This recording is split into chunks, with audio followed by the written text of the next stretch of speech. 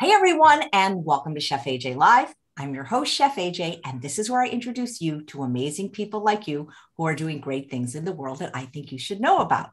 Well, it's Monday, which means it's time for McDougall Monday, where we are joined by Dr. John McDougall and his wife, Mary. And he is going to be giving a brand new lecture based on the gastrointestinal system, GI health. He's going to do part one today and part two in two weeks. And today he's going to focus on the upper GI tract. Now, I'm sure you know that Dr. McDougall has multiple best selling books, and you're probably familiar with his book, The Starch Solution or the McDougall Program for Maximum Weight Loss many of his books are wonderful, but my favorite might be Digestive Tune Up. so he really does, because it's got pictures in it and it's really fun to read. So he really does know a lot about your GI health, and he's here to talk about it. Please welcome Dr. John McDougall. People voted that they really wanted to hear this topic from you. Well, thank you, uh, AJ. I, I think it's, it's a really important topic. After all, you know, everything everything that happens to you starts with your intestinal tract, and uh, you know that the, the intestinal tract is the portal of entry of most of our environment. You know, the other way we get our environment to enter to us is we breathe it you know, that through the lungs, we absorb some of the environment. Of course, you can easily think about contaminated air and cigarette smoke and decide that that's a portal that can be easily damaged by poisons and toxins, particularly if you happen to be a tobacco user. But, you know, a marijuana user or somebody who lives downwind from a factory, we're talking about uh, injury that way. But otherwise, uh, essentially all of the other contact you have with your environment is through your gastrointestinal tract. And we're talking about here is food and water. But I'm going to be discussing the food issues with you right now. You know that you need clean air and uh, clean water, and uh, you need clean food too. And uh, what I've been spending my lifetime trying to trying to come up with is uh, what is the food that allows you to look and feel your best, to function your best, to live your longest. You know, what would that diet be? And you know, I, I think well, let's just put it this way I'm happy with what I came up with more than 46 years ago. You know why I'm happy? It's because when I prescribe this kind of, uh, of eating to people is they come back and they say, I, you know, it's a miracle. Uh, thank you very much. You know, I, I, just didn't cost me anything. It's uh, cut my food bill dramatically. And boy, everything you promised, I got.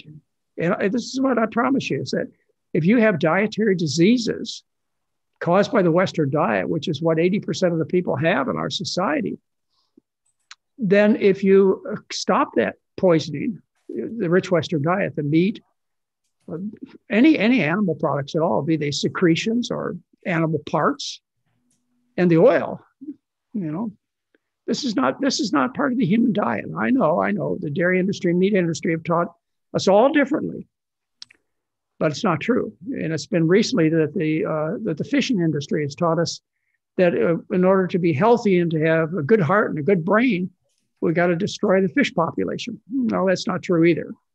So what I want to talk to you about over the next uh, well couple sessions is I want, I want to talk to you about the intestinal tract, and we'll do the upper end, then we'll do later on the lower, and hopefully I'll stimulate some questions uh, for from you uh, about this particular topic when I when I decided to write Dr. McDougall's Digestive Tune-Up, which I wrote, was published in the year 2007. So what is that? That's 15 years ago. Yeah, still a national bestseller. You can get it on Amazon. Uh, the, the it's an active bestseller. I mean, the book company has not given me the title back like it has with a few other other of my books. Yeah, they still make a, a lot of money off the book, and it, it was tough when I decided to write this because I mean, the intestinal tract. I mean, this this is a, a, a an area of the body that's shrouded in mystery, and also it's considered mm, by and large dirty, isn't it? Shameful. You, you know, you don't want to talk about your bowels, but they need to be talked about. And um, so I took the big step and and decided to write a book and and, and I actually got a comedy writer to help me with this book because I figured we had to introduce a little bit of humor in it. And it's not really all that funny, but people tell me that they are able to read it from cover to cover and without putting it down and they enjoy it. And boy, boy, that was that was a compliment. I didn't know that I would, would do that well when I started out deciding to write this book. And uh, I also I also got a lot of help here from a good friend of mine. Actually, he started out being a a patient that I that I uh, made contact with over the internet, and this is him right here. This is this is my friend Howard Bartner, and he did the illustrations for the book. And the illustrations you're going to see today were done by Howard Bartner.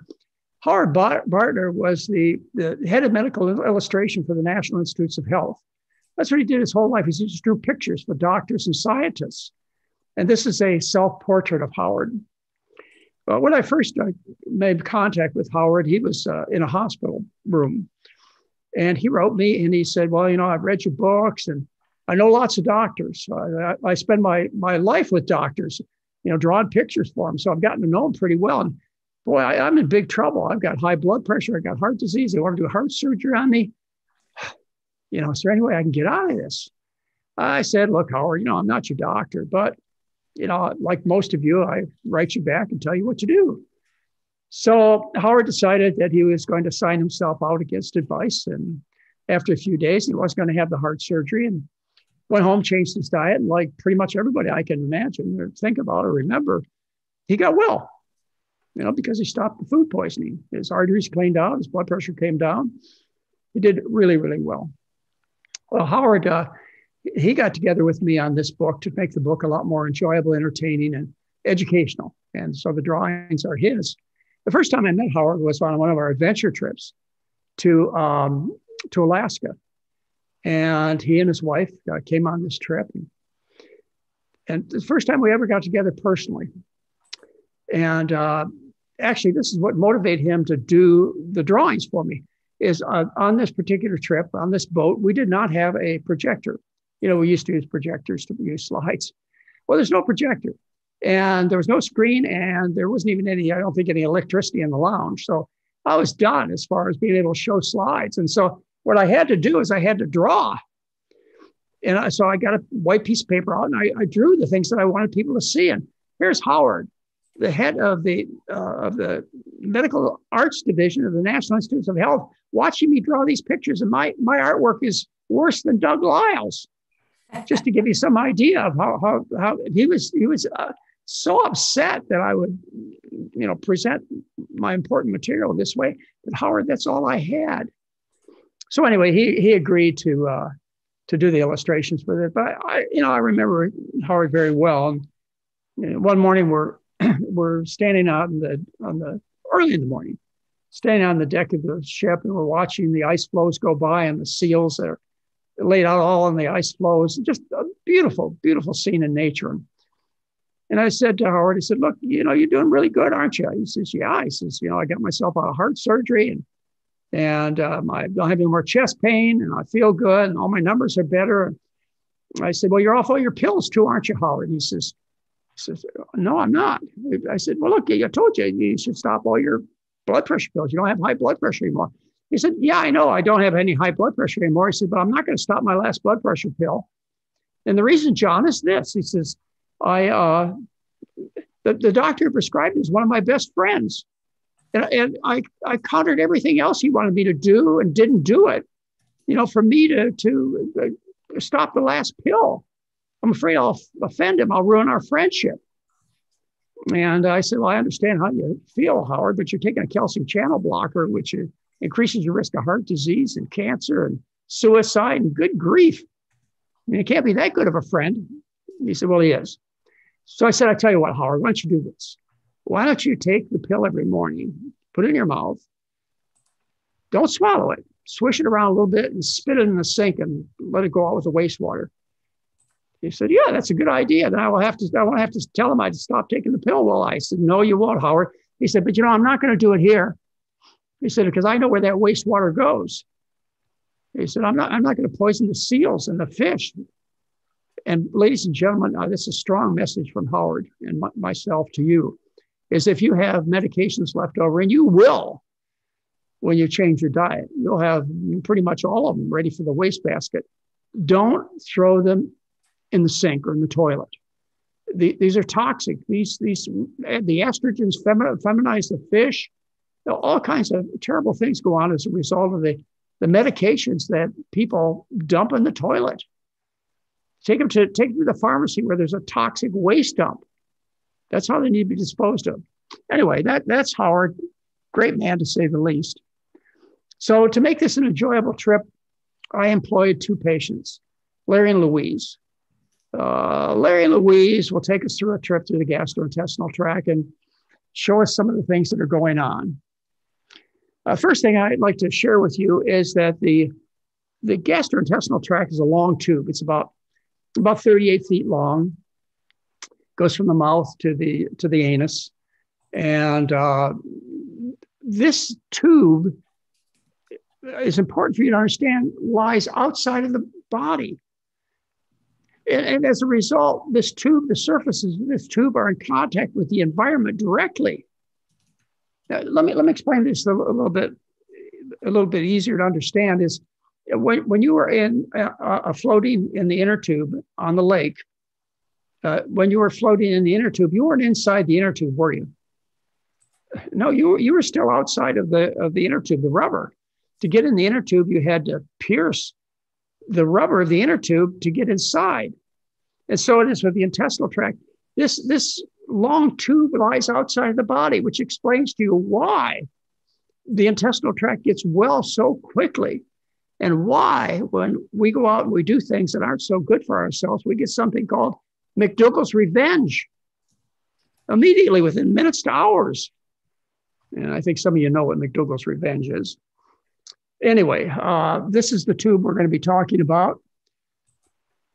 I, would like to divide this discussion into three parts, and we'll talk about two of the parts uh, today and the last part not our next time together. I want to talk to you about the upper intestinal tract, which goes from the lips down through the chest cavity through a tube called the esophagus uh, into the stomach.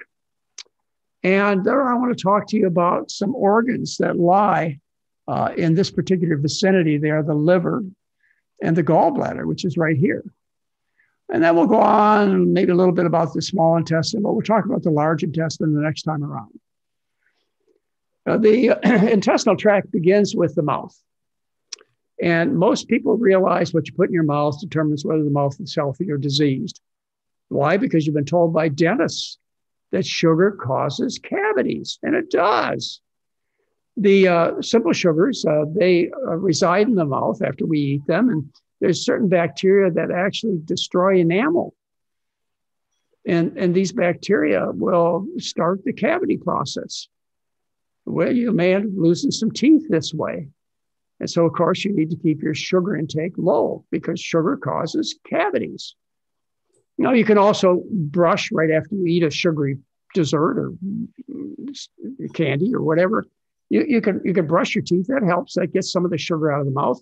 And of course, you can just if you don't have a toothbrush, you can just rinse with water, and, and you'll remove a tremendous amount of sugar from around the teeth. And that should be a good habit practice for you.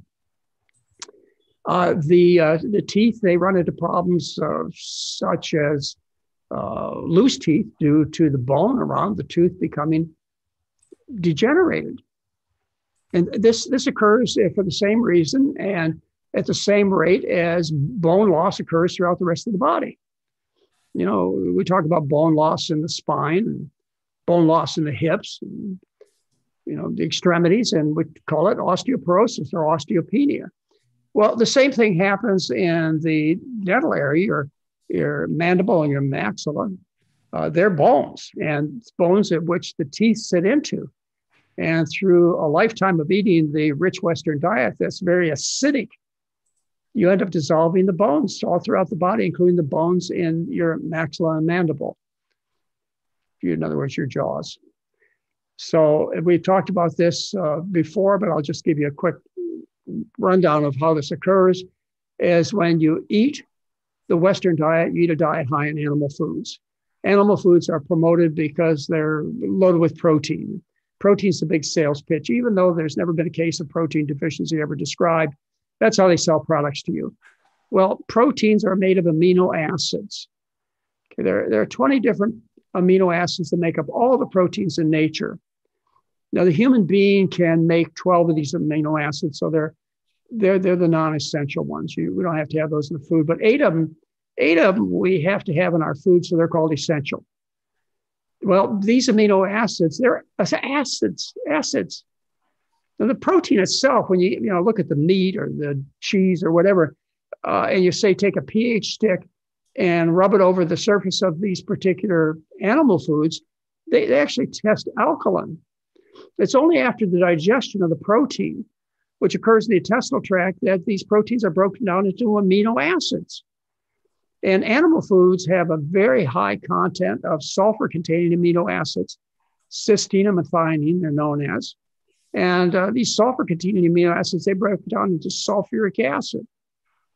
So you dump this huge acid load in the body. The primary buffering system of the, of the body is the bones. And the bones dissolve or release alkaline material, and that's the beginning of loss of bone material. Uh, more of it occurs, more of the mechanisms occur down at the kidney level, and it just you end up urinating your bones in the toilet, including the bones in your mandible and maxilla. Uh, there's a lot of infection that occurs around the teeth from poor dental hygiene. And some of the uh, the efforts of poor dental hygiene, some of the the indications of it is when you go to the dental hygienist, and the dental hygienist takes this little probe and sticks it between your teeth and your gums, and calls out numbers like two, four, six. What, what the dental hygienist is talking about is the millimeters that are millimeters uh, that form the pockets. In other words, if you have big pockets between the gum and the teeth, you know they go deep, six millimeters. You know, two millimeters is what they're supposed to be. Anyway, you get this uh, this loss of attachment of the gingival tissues, the gums to the teeth, and you get an infection called gingivitis.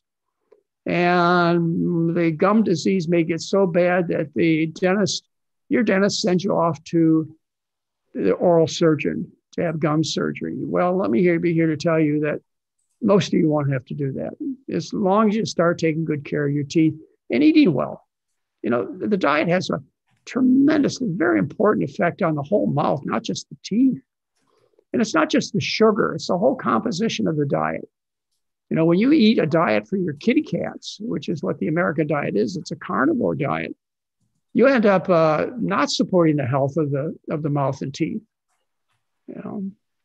Anyway, uh, if you will, if you will just be a little patient, change your diet, and practice good dental hygiene. That means we've seen it, seeing the hygienist. Uh, let the hygienist uh, clean some of these pockets out, and uh, do daily cleaning between your teeth. Now I know many of you like to floss. I, have never enjoyed flossing, but I've discovered a, a, more effective way to clean between the teeth. This is what I use, which I should encourage you to try. And these are interdental brushes. They're little bottle brushes that you buy in the drugstore or on the internet, just little tiny brushes that you stick between your teeth. And you will clean out a tremendous amount of particulate matter. In fact, more so than you'll ever get with flossing. And, and I think there's a reason why, and that is that flossing is not natural. Uh, think about it. If you think about uh, our ancestors, uh, they would gather around the, uh, the, the fire pit and uh, eat, eat their dinner together, and then they would leave after chewing on hopefully corn and beans and rice, etc., and and not not not the hunt. The hunt, of course, is an exaggeration. They didn't eat very many animal products. All these ancestors didn't. But on the way back to their their hut from from the community uh, fireplace, is they had stuff between their teeth and what, what did they find to pick up along the path to clean between their teeth? They didn't find floss. What they found is little sticks to poke between their teeth. That, that's, I think, is the natural way to clean your teeth is little sticks like these interdental brushes that I told you about. Anyway, you can make a tremendous amount of improvement by uh, by you know seeing the dentist, seeing the dental hygienist, and putting some good food in your mouth. Let's talk about uh, bad breath. Uh, there's advertisements on TV that I think we should pay attention to. Uh, this is for something called smart mouthwashes. And what they tell you is that all bad breath is caused by sulfur. Well, they're trying to sell a product that neutralizes the sulfur in your breath. And that's why they sell smart mouth mouthwashes. It's because that's what this particular mouthwash does. It neutralizes sulfur. sulfur stinks. Uh, it is one of the more offensive smells that uh, that uh, we're exposed to. You, you, think about rotten eggs. That, that's sulfur. You think about the uh, uh, uh, about the mud pits. You know the the boiling pits at Yosemite or you know or Yellowstone National Park, and you know they're, they're sulfur pits and they stink. Well, that, that's the most offensive odor that we are exposed to is this odor of sulfur. And uh, odor is very important as far as uh, as far as our ability to communicate with other people.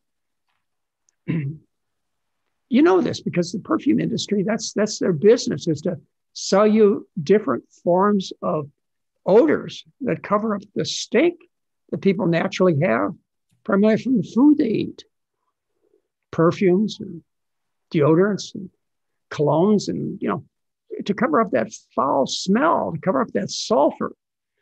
Well, the perfume industry knows that this has to do with romance. If you get the right smell, you know, you're attracted to other people, male or female. So, uh, this is important to understand is that that the uh, reason that you are affected is because odor, which is comes through here the nose, it affects these little hairs here. These are actually little tiny nerves, and these are connected to a, a, a, part of the brain. This is not just a nerve. This is a part of the brain called the olfactory lobe. Okay, so you have direct connection with the air to these little hairs, these little nasal hairs. They go into nerve fibers. You see them right here the olfactory lobes, and then they up into this part of the brain, which is called the limbic system. This is called the limbic. This is where emotion occurs. This is where love and sexual attractiveness and hunger and this is your limbic system. And so it connects your what you smell connects directly to these kind of very personal sensations.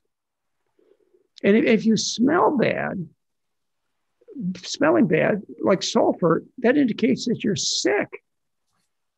And so odor is one way you, you decide who, what, what people you want around you. And when you're dealing with reproductive issues between a man and a woman, this odor helps you choose who you want to share your sperm or eggs with to produce the, the, the most, uh, the best offspring. That's, that's the importance there. And, and that's one of two ways that you can get clues of the health of the potential mate. The other is vision.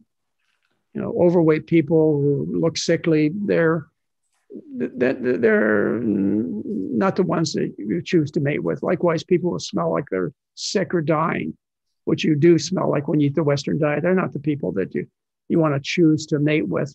But this extends into all kinds of other relationships, business relationships. Um, you know, whether or not you get into school, what kind of grades you get into school would be your state of health as perceived by sight and smell. So you're trying to choose uh, in your community. You know, this is not this is they're not sexual relationships; they're platonic relationship. You're still trying to choose healthy people to work with, to go to school with. You know, and this is the way you choose these folks is by odor. All right. So you got that part, how important smell is. The next question you have is where does this stink come from? Where does this sulfur come from? Sulfur is an element that is neither created nor destroyed. Okay, you remember that from your basic science. It's not created or destroyed. So it has to come from someplace. Well, where it comes from is the food. And if you compare the, the sulfur content of various foods, you'll see exactly what I'm talking about. If you compare beef, same number of calories, same amount of protein, with pinto beans, Beef has four times more sulfur than just pinto beans. You compare eggs uh, to corn, four times as much sulfur. Cheddar cheese has five times as much sulfur as white potatoes, and chicken seven times as much sulfur as rice. And tuna fish provides 12 times as much sulfur as sweet potatoes. So you can choose how much of this noxious odor you want to have go into your body. And this this determines how you smell from head to toe. Uh, you, you know, one of the places that we notice the odor is in bad breath. You think, well, you clean your mouth very carefully and you use the smart mouthwash and et cetera. You think you've solved the bad breath problem. You haven't. You haven't because these sulfur containing foods are swallowed, they go through the intestinal tract, they're absorbed uh, through the intestinal tract into the bloodstream. The blood circulates back to the lungs. And with each breath you exhale, the smell. You can't get rid of it just by cleaning your mouth. You, have got to stop the sulfur content of your whole body. And this sulfur, it circulates through the bloodstream after it enters through the intestinal tract and goes to your skin. It, it comes out on the surface of your skin. That's how you get body odor. And as we'll say for our discussion at the end, is uh, these sulfur, these sulfur elements, they cause you to have bad farts, stink. Anyway, change your diet. All right, let's talk about another section of the upper intestinal tract. And let's talk about uh, after we left the mouth, uh, we enter something called the esophagus. The esophagus is this long tube that goes to the chest, all right? So, where you get the food through the chest cavity into the abdominal cavity is through this tube called the esophagus. And this esophagus, it attaches to the stomach. All right there is a sphincter here called the lower esophageal sphincter. You probably learned about this because you've learned about GERD, gastroesophageal reflux disease, and you've learned that this uh, sphincter becomes incompetent. All right. In the next session we have, I'll tell you how it becomes competent, why it is incompetent. But between meals, what's supposed to happen is the muscular band here is supposed to contract and keep the, the stomach contents in the stomach. But what happens is the sphincter it becomes incompetent, and as a result, the stomach contents they reflux up into the esophagus, and it burns the esophagus. You get esophagitis. It burns it badly. You get uh, you get uh, Barrett's esophagitis, and then through constant irritation, you may end up with one of the more untreatable cancers. They're all pretty much untreatable, but this is one of the really, really bad ones to get. It's called adenocarcinoma of the esophagus. That's that's a tough disease. Anyway, the uh, the reflux continues uh, up into the lower esophageal area, all the way up, and it refluxes back into the mouth. Okay, so when it refluxes the stomach contents full of acid, digestive substances, when it refluxes on your uh, larynx, which is an organ right here, you get hoarseness and you get a chronic cough. When this material gets refluxed up onto your teeth, you lose the enamel on your teeth and it gets refluxed up in your sinuses and it causes sinusitis. And when you breathe, you inhale the stomach contents down into your lungs and it gives you bronchitis, bronchoconstriction called asthma. And, you know, almost all doctors know this that, that um, asthma is caused, and a good share of people, if not almost all people, by this reflux problem. And, you know, doctors will give you advice on how to handle it. And one advice they should give is they should uh, tell you to take advantage of gravity. So at night when you lay down, you should have your the head of your bed propped up. I, I don't mean bent, okay? I mean like that propped up. And what you do is you put a couple of four inch blocks under the, the two head posts that are in your bed, and you raise yourself up so that gravity pulls pulls this uh, this stuff that's being refluxed back into the stomach. So that's standard advice. Other advice is given for you to put on to, to consume antacids. And we'll get a chance to talk about that in a couple of minutes, probably. But the main way, the main way that you can solve this problem is you can stop eating foods that are digested by all this acid.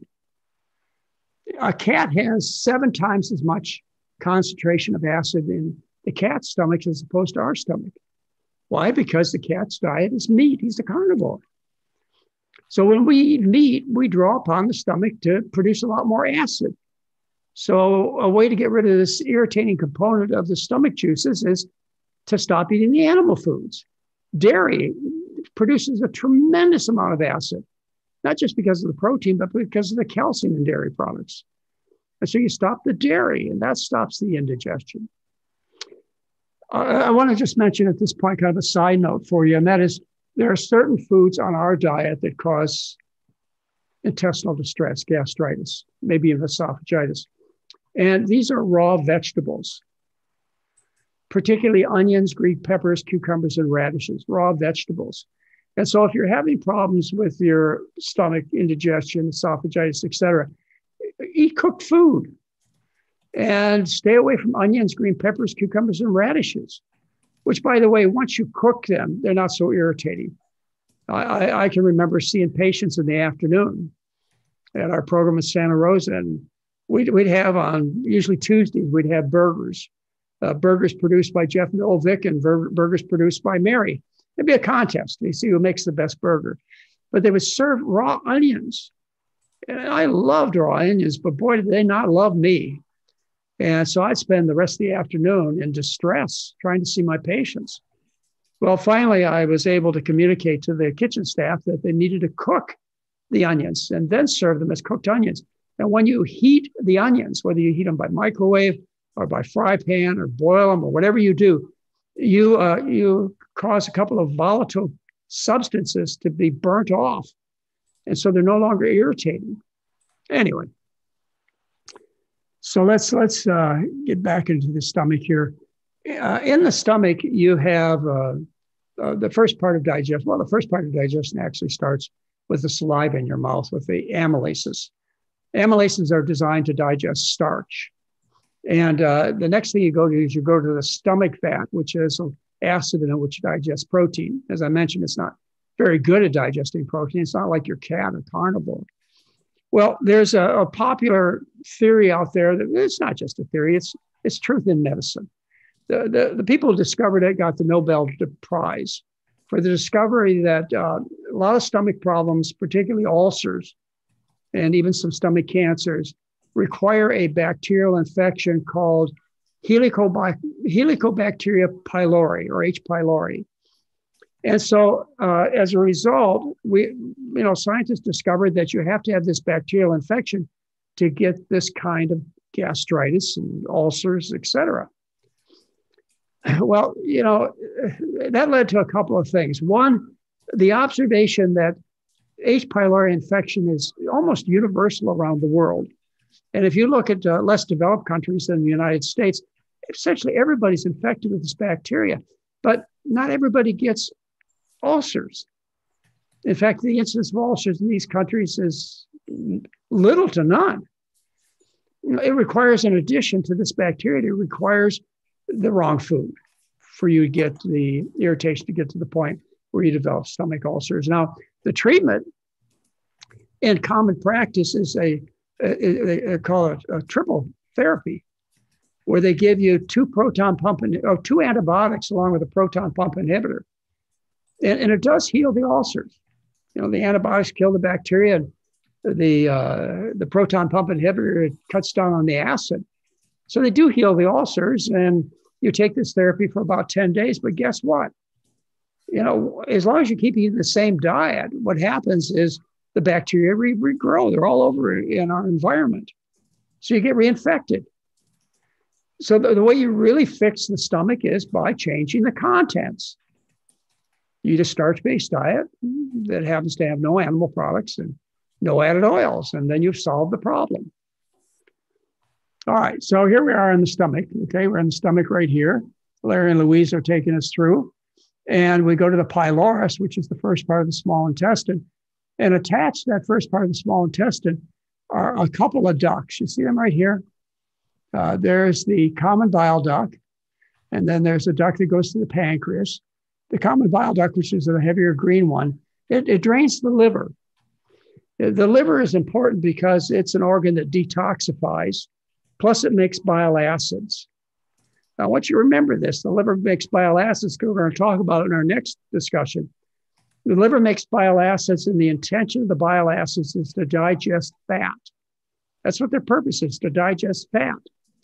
Well, so the liver makes these uh, these bile acids, which have a whole bunch of of uh, chemicals and stuff that have been removed by the filtering organ of the liver and the bile acids which digest the fat.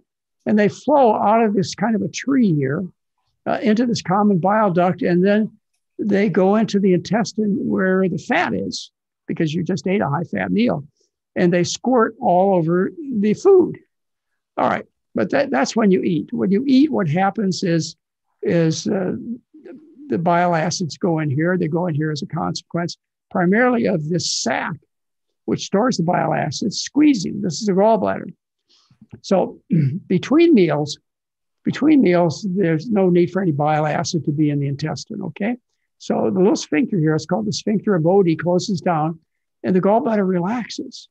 And then when we eat, particularly fatty foods, the gallbladder contracts and Oddi opens up. All right. So the purpose of the gallbladder is to act as a storage organ for the bile acids that are made by the liver. But the storage organ, the gallbladder, it gets diseased. Uh, it gets uh, inflamed, irritated because of the unhealthy type of bile acids that are produced when you eat the rich Western diet. And it, uh, these, these uh, the, the, bile acid fluid that's produced when you eat the Western diet is, uh, is super saturated with cholesterol. Again, every doctor knows this. Is the hallmark of forming gallstones is the fact that the bile is super saturated with cholesterol. Well, you know, cholesterol only comes from animal foods in any significant amount. So the reason you super saturate your bile with cholesterol is because of the food. Gallstones are made primarily by with cholesterol. That's the primary component. And these are the gallstones you get. How, how many people have gallstones? Well, uh, you know, 30, 40, 50% of people have gallstones when they get to be in their midlife. And, and we have an acronym that uh, we use in medicine, which was taught when I was a student, I'm still taught today.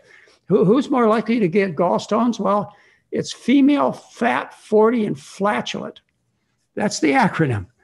In other words, overweight women who, are, uh, who eat the Western diet, female, fat, 40, you know, middle age, fertile, you know, that particular age group, they're, they're the ones that get the most of the gallstones, maybe half the population that is overweight female in the reproductive years, they, they get uh, they have gallstones present. All right, so the gallstones result in the removal. We just cut this little piece out here, which is the cystic duct.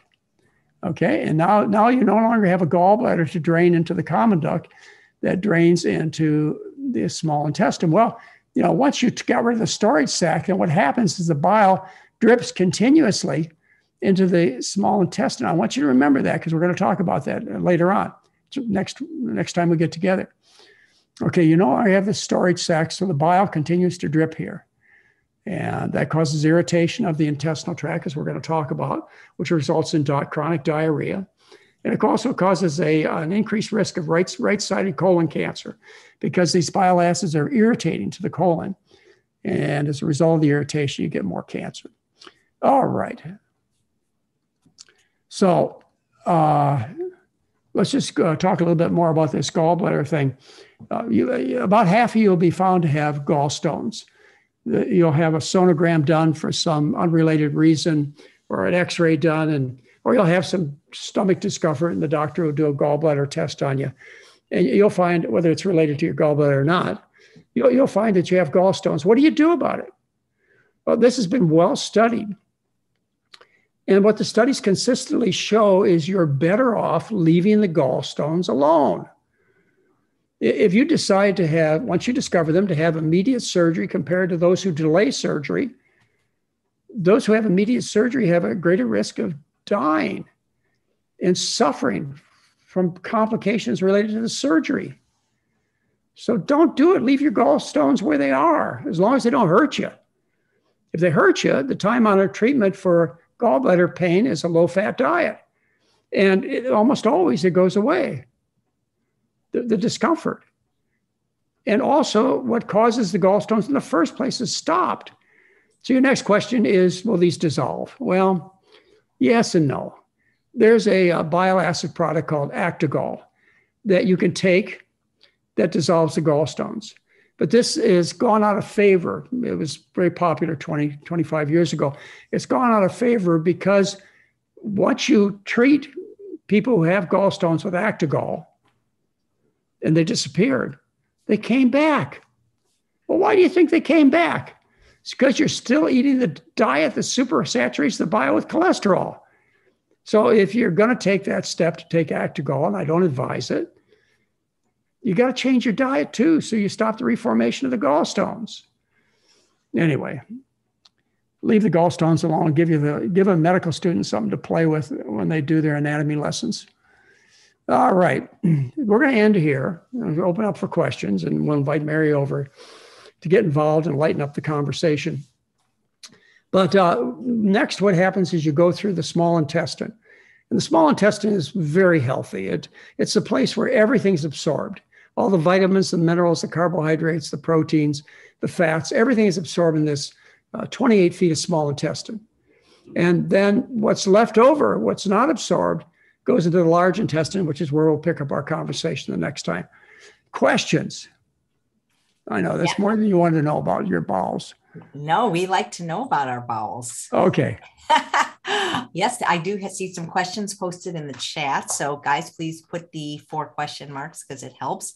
Okay, so Tammy says, I've had colon cancer twice and have about 16 inches of colon left. Yeah. How does that affect my absorption of nutrients?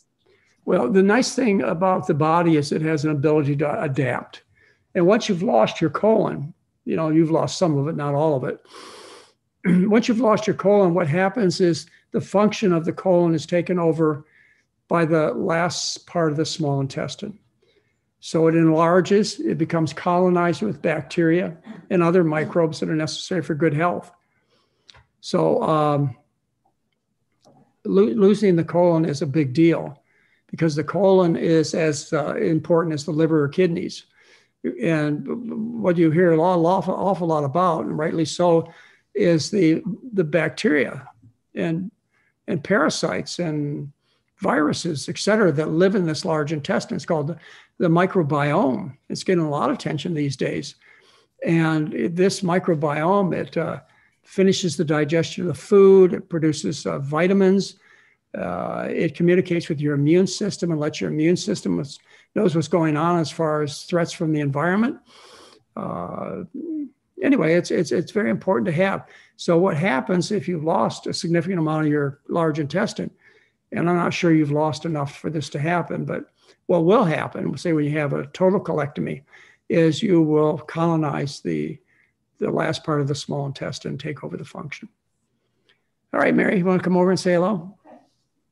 Eh, how do you like this shirt I'm wearing today? I, I really like it. I think you look good in, in bright primary colors. Yeah, well, I want you to know this is a gift from Chef AJ.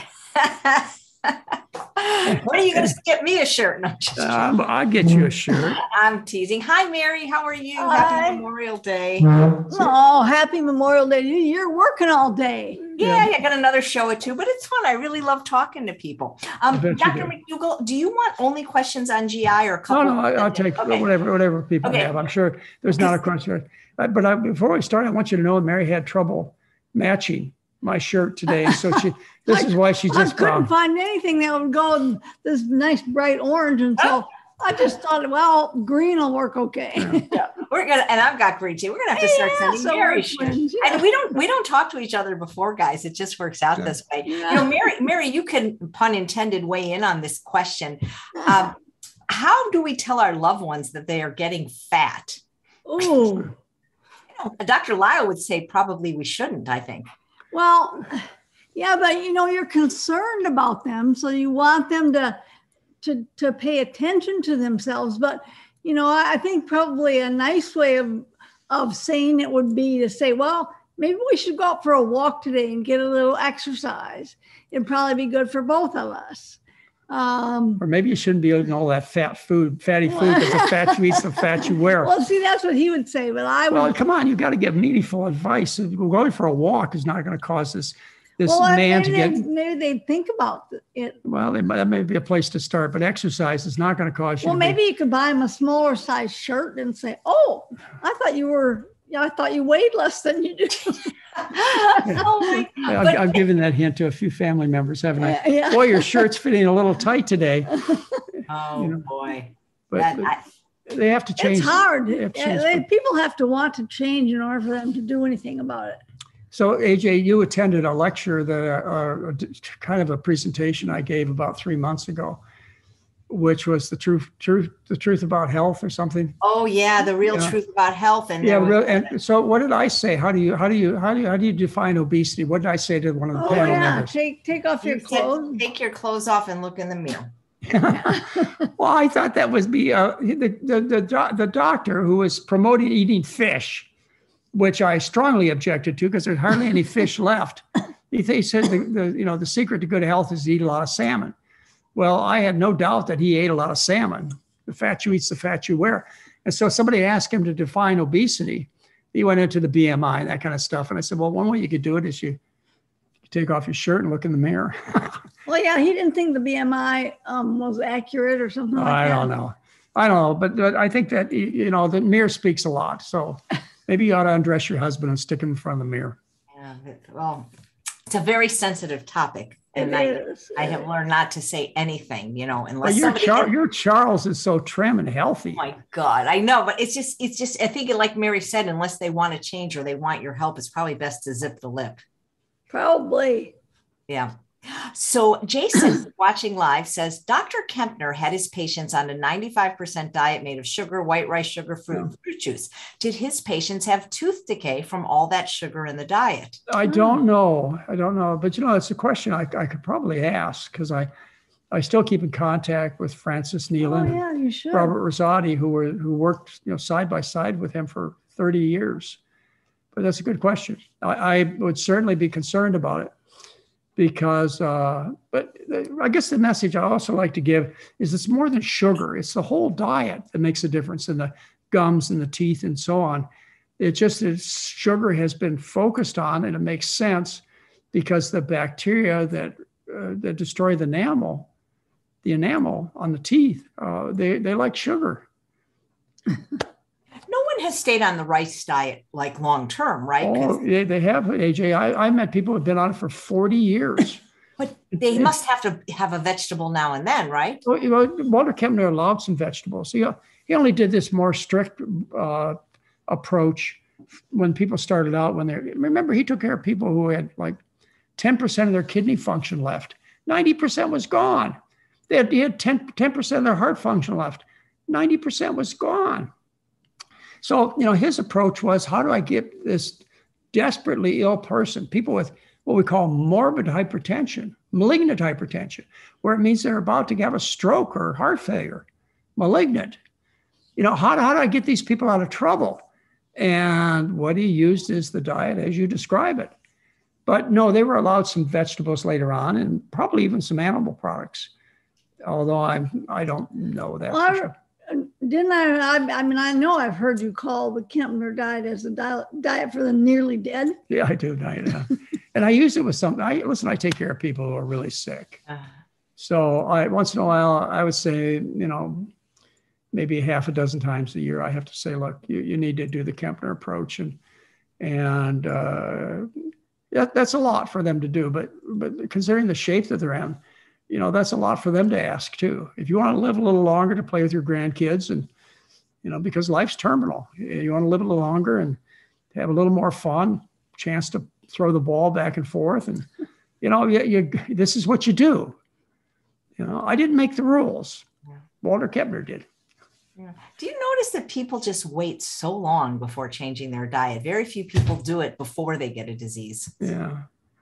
I don't know. Well, I, I think I, I'm I'm afraid that's human nature.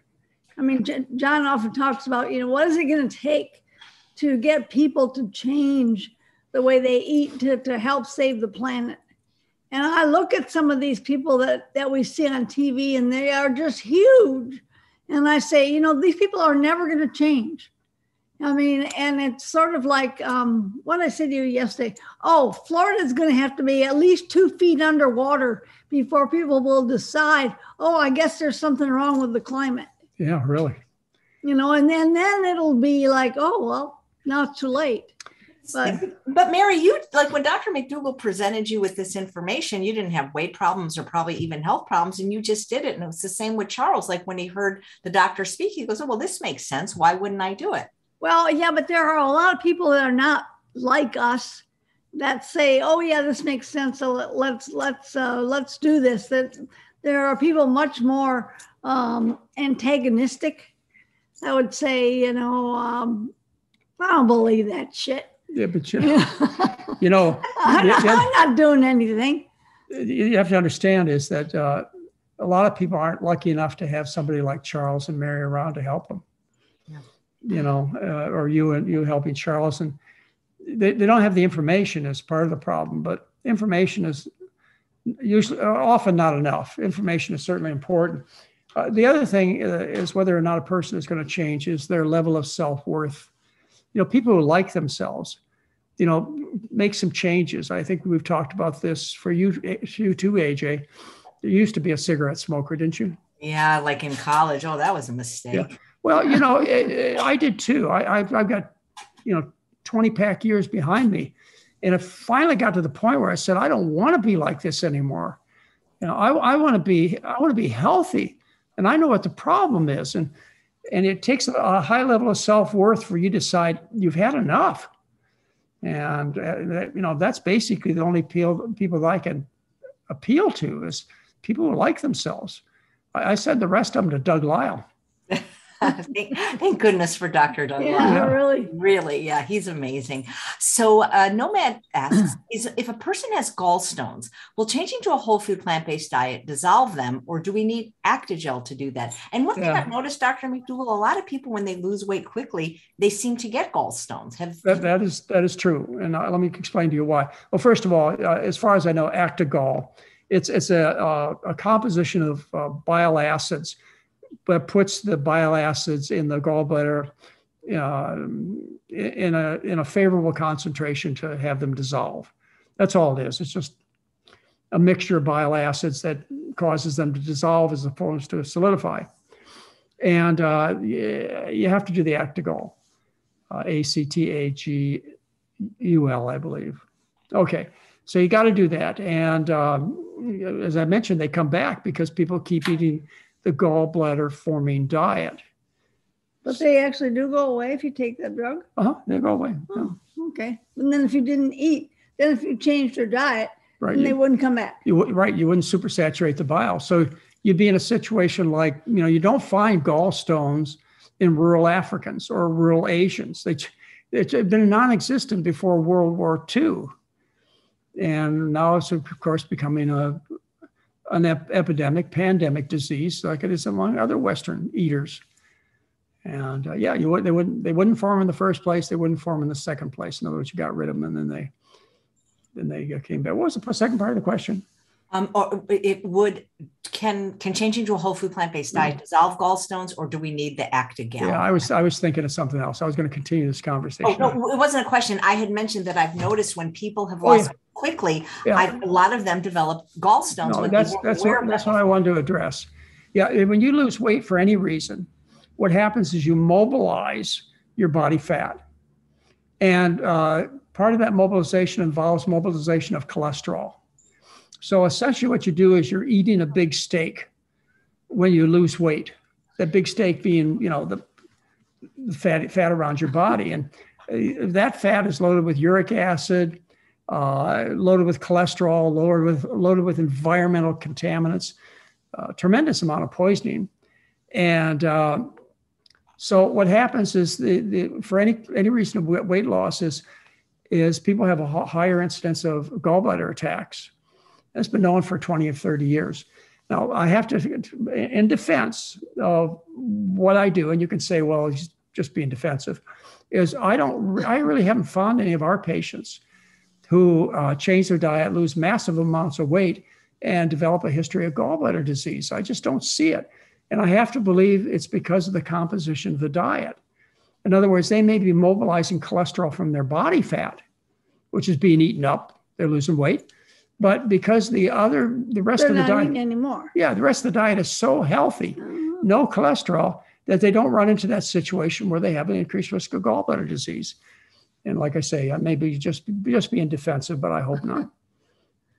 Great, thank you. Uh, here is a question from Susan. What is your view of using diatomaceous earth, fossil flour, and or activated charcoal to detox the digestive system? Well, as far as I remember, diatomaceous earth is contaminated with lead. You can correct me, but I'm I'm thinking back something I wrote 30 years ago. But that would be an issue. What, what, do we use it? We used it in Hawaii to keep the ants out, right? Oh yeah, yeah. We used to put it around the, the doorways and stuff to keep the ants or the cockroaches or something. Yeah, it was killed. They got, got rid of them. Yeah.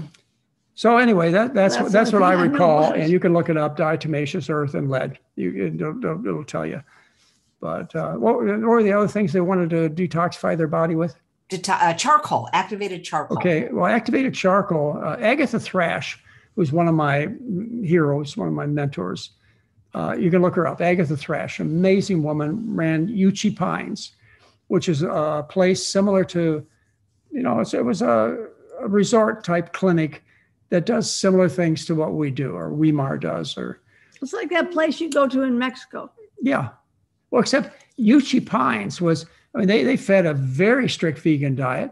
They used to, uh, Agatha used to recommend charcoal for all kinds of things, uh, mainly for indigestion, for detoxifying the body. Uh, it's used in emergency rooms every day around the world. Uh, when somebody comes in with, with poisoning, is they give them, um, you know, a large amount of, of activated charcoal to to complex the poisons that they may have just taken. It saves lives. Standard practice. But didn't, don't, I think I remember like from, for years ago, you could, you told people they could take charcoal to lower their cholesterol too. Yeah, it does that. Lowers cholesterol too, right? I'm glad you're remembering those things, Mary. See, but the, the two of us will probably remember everything I ever knew. Um, anyway, the um, yeah, it does. Because, well, you know, the reason I remember it is because I smelled it once and I thought I could never take that. Well, that's the problem. The problem is, is it's a black powder. And so what Agatha Thrash used to do is she used to put it in a in a leftover, you know, a milk carton, so you couldn't see it. And she'd have people drink it through the straw. It doesn't. It's odorless and colorless and tasteless. Or not colorless. It's black. It's odorless and tasteless. And so she would uh, be able to get her patients to take activated charcoal by disguising it, hiding it in a milk carton. It's really tasteless. I think so. Oh. You, know, you don't like black stuff on your teeth when you look at it. Yeah. So I can't, know, it should be should be odorless and tasteless. not lookless, that's for sure. And anyway, I I uh, I think there's a tremendous amount of value to activated charcoal for the things that she recommended, including detoxifying the body. And uh, the reason the way I'd like you to detoxify your body is to put good things in. The bad stuff will come out if you put good stuff in. Uh, you, I don't think you need any extra potions to, to clean the body out, unless, of course, you had acute poisoning. You ended up in an emergency room dying. Then charcoal would be good. Otherwise, you got some time. You got some time. Do you do you remember Daniel Vierra? Oh yeah, Danny Vierra, sure, very much so. He he was on the show yesterday. He he has a free conference, and he said you were one of the Oh. speakers. He does something with. He was talking about some some detox program he does with i- activated charcoal. Dan, Danny, when when I knew Dan, Danny is a he used to run a, a, a very Christian Is that religious. the place in Lodi? Uh, yeah, yeah, in Lodi, it's it's not far from me now. Yes, Yeah, right. Yeah. Okay, we've been there a few times. yeah, yeah. We used to go down and talk at his conference. There were a lot of very enthusiastic people. You It would, it would be in a tent meeting, and so you know. Oh, yeah, it's like on fairgrounds. yeah, you know, it's just like one of those revival tent meetings that Yeah. Danny would, and and he he used uh, basically the same principles that we use, and uh, I'm sure I hope he still teaches a similar message, but he was a, he's he's a good guy. I I always liked Danny a lot. Oh, great. Well, yeah, he said to say hello. That's so fantastic. Um, Anna, who's watching live, says, I take care of teens, and it's so surprising to see how many have gallstones and fatty liver disease. Yeah. Do you have any advice how to address them, especially when parents are not on board or if the surgeons do not address diet? Yeah, well, it's 100% dietarily caused, both. So, you know, if you, if you get feed a high fat, high cholesterol diet, which is the animal food based diet that Americans have considered their birthright, to, their birthright is to kill anything that gets in their way and eat it, uh, then you're going to be sick because it's not the food for people. Well, and it would be difficult if their parents weren't on board. So if you even if you had these teens in a, a home and, and you were trying to you know, make their lives better and you feed them a great meal at lunchtime, they'd go home to all this junk in their home in the evening. And um, so I, I would be, you know, it'd be hard. I find I find a, a lot of families it's working in the other direction. The kids come home and say, "We're going vegan," yeah. and mom and dad say, "Oh, okay," or "No, I'm not going to do that," or whatever. So uh, often these days, the the children are bringing home the message to the rest of the family about a healthier diet. Could be the other way, but I think more commonly it's uh, it starts from the bottom up, and it should. I mean, the the young people need to be out in the streets. They need to be marching in the streets right now because of global warming. You go. You, we need a wake up call. We need without being a, a disaster. You know, people have to become aware of just what peril we're in. I know I'm losing. I'm losing your audience. You don't want to hear this. God, I know you don't want to hear it. But ladies and gentlemen, we're cooked. And one way to save ourselves is to switch the planet to a, a vegan diet. I wouldn't keep talking about this if I didn't think there was some way to fix it. But we got to move soon, like now. And you know, the the I listened to a lecture yesterday. The elites, the bankers, the people who are wealthy, you know, they're the ones that are hindering the change, or they could bring the change from the top, and they don't. And my question was, don't they have children too? Don't they have grandchildren too? Do you think that they're going to escape what's going on? You know, we need to get the people on the top to move. And way you do that is you get the people on the bottom to protest. God, I tell you, I, I, I would be out in the streets with them but we need it's just it's just uh, it's sad. Let's get on to another let's talk about the bowels all right.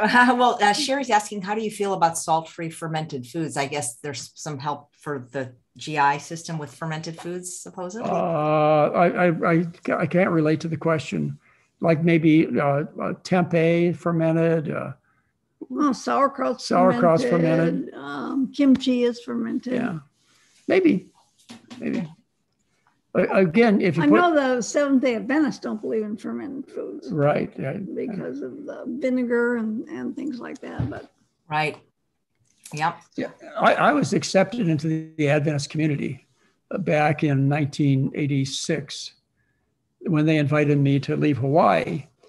Well, even before that, I used to work at Castle Hospital, which was an Adventist hospital in Kailua, Oahu. And so this was a good place to work, somebody interested in food, because the Adventists are very interested in food. But uh, uh, the St. Helena Hospital, which is in the Napa Valley, invited Mary and I and the family to move back in, well, we started moving in 86, finished in 1987. And uh, I started running my program at St. Helena Hospital.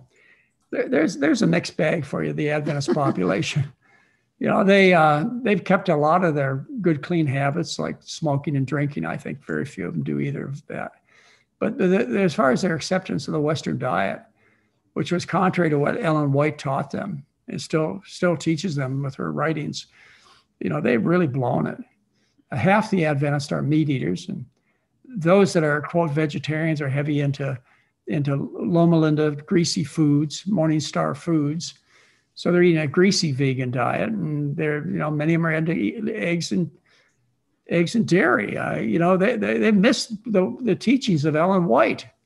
Well, and they like all the new meat substitute yeah. substitutes that are on the market because that's what they they grew up eating. The Loma Linda had sausages in a can. I remember you could they had um, uh, like Morningstar. Well, I don't know if it was no, it was they were Loma Linda brand, but they even in the um, basements of Seventh Day Adventist churches, oh, yeah, they had yeah. little stores. Yeah. where they would sell these fake meat products. And, Right. Do, and- do you remember getting kicked out of uh, out of some of the camp meetings, not being invited back? I'm, I'm Um, Sure well, we used to go to a lot of them. I don't remember why they didn't invite Yeah. us back because we were too strict, I think. we are, we are not Seventh Day Adventists. Know nothing about their religion, but because of our interest in a healthy diet, which is a principle of the Adventists, they're, they're they preach vegetarian and veganism. At least they do at one level. When it interferes with their pocketbooks, they stop preaching it. And I do mean that. But we used to go. We used to be invited to camp meetings where there'd be like, you know, 500, maybe more people that would attend the lectures that Mary and I gave and uh, I, they would ask me. They would ask me about Morning Star and and uh, what was the other one, Loma Linda? Loma Linda, Loma- yeah. What I what I thought about their meat substitutes, and I told them they're dangerous. They stopped inviting me to the camp meetings. You know, well, we went for like three or four years. oh yeah, we did. We talked probably talked to a dozen, met some really really nice people. But I think it was mainly because of your association with the hospital, because I remember doing this at first when we first moved there. yeah, we did it. Yeah, okay, yeah, maybe yeah, probably. But we were in California and we did it. Yeah, our kids were young. and They used to go and help us. It's the same thing with the hospitals that I worked at, Castle Hospital and, and uh, St. Helena Hospital. It was fine to put these types of uh, mission statements up on the wall. You know that we're going to be concerned about the, the the diet and lifestyle of our fellow Americans. They put up put it right right there mission statement on the wall. But as far as practicing it, could, this is getting in the way of the cath lab. You know, this is 80% of our business is heart disease. What are you going to do? Ruin our business? We'll have to close the doors. That's what they told me. I left. know, uh, I, I- I'll tell you, I had some interesting times. I worked for 16 years at that, at St. Helena Hospital in the Napa Valley, and I spent another 10 years working at Castle Hospital, about 10 years. So, so I have a long, long time association with the Adventist community. And I want to tell you, they have some good principles. Just don't let it get in the way of their money. Well, Castle Hospital actually had a um, a great cafeteria Oh yeah, that served McDougall food. that's right. You can co- come from all over Mhm, Oahu. I think they still do, Mary. Really? Yeah, you come up from all over Oahu, and you just tell them you want the McDougall entree. And St. Lena never did that. Uh, it got to the point at St. Lena Hospital where they would allow our diet to be served in the hospital section. There was a while there when they wouldn't let them order McDougall food if they came in for a heart attack or whatever. But they finally got around to allowing people who are dying of heart disease to eat other than the food that caused them to die of heart disease. And by the way, the St. Lena Hospital, they served meat. They served meat above the second floor. Why? Because they had to compete with Queen of the Valley, which is the hospital down the street. They had to compete with them for heart, heart, heart businesses. And so they weren't going to lose the money. You, you know, principle only goes so far, folks. When it, when it, when it, uh, it has to do with your pocketbook, you know, then we'll think again. Oh boy. hey, we got a question on burping from Cindy. She has uh, Cindy has trouble with it. Any advice on how to reduce it? Burping? hmm Uh, burping is, uh, is a sign of irritation of the stomach and esophagus. So I would start by putting non-irritating foods in. And, you know, that, that would be the first stop. What would it be non-irritating foods? Well, it's a starch-based diet with fruits and vegetables, avoiding raw vegetables. Well, even um, carbonated water know, for some people yeah, carbonated water would be good. causes, causes burping. you know, just to get the gas to come out from the carbonated coffee would be another one that may be troublesome to people. Any serious coffee drinker carries around a, a, a, bottle of antacids because they have chronic indigestion from the coffee. And it- by the way, it's not from the caffeine, it's from the other alkaloids in coffee because you get as much acid secretion and indigestion drink, drinking decaf as opposed to regular, compared to regular coffee, you get even more indigestion with decaf. Wow, that's interesting. I don't think people know that. No, you know, they, they make a good decision. But the caffeine is very disturbing for a lot of us. And um, so, you know, we know uh, well enough to get uh, to decaf, but then we expect other problems such as uh, raising cholesterol.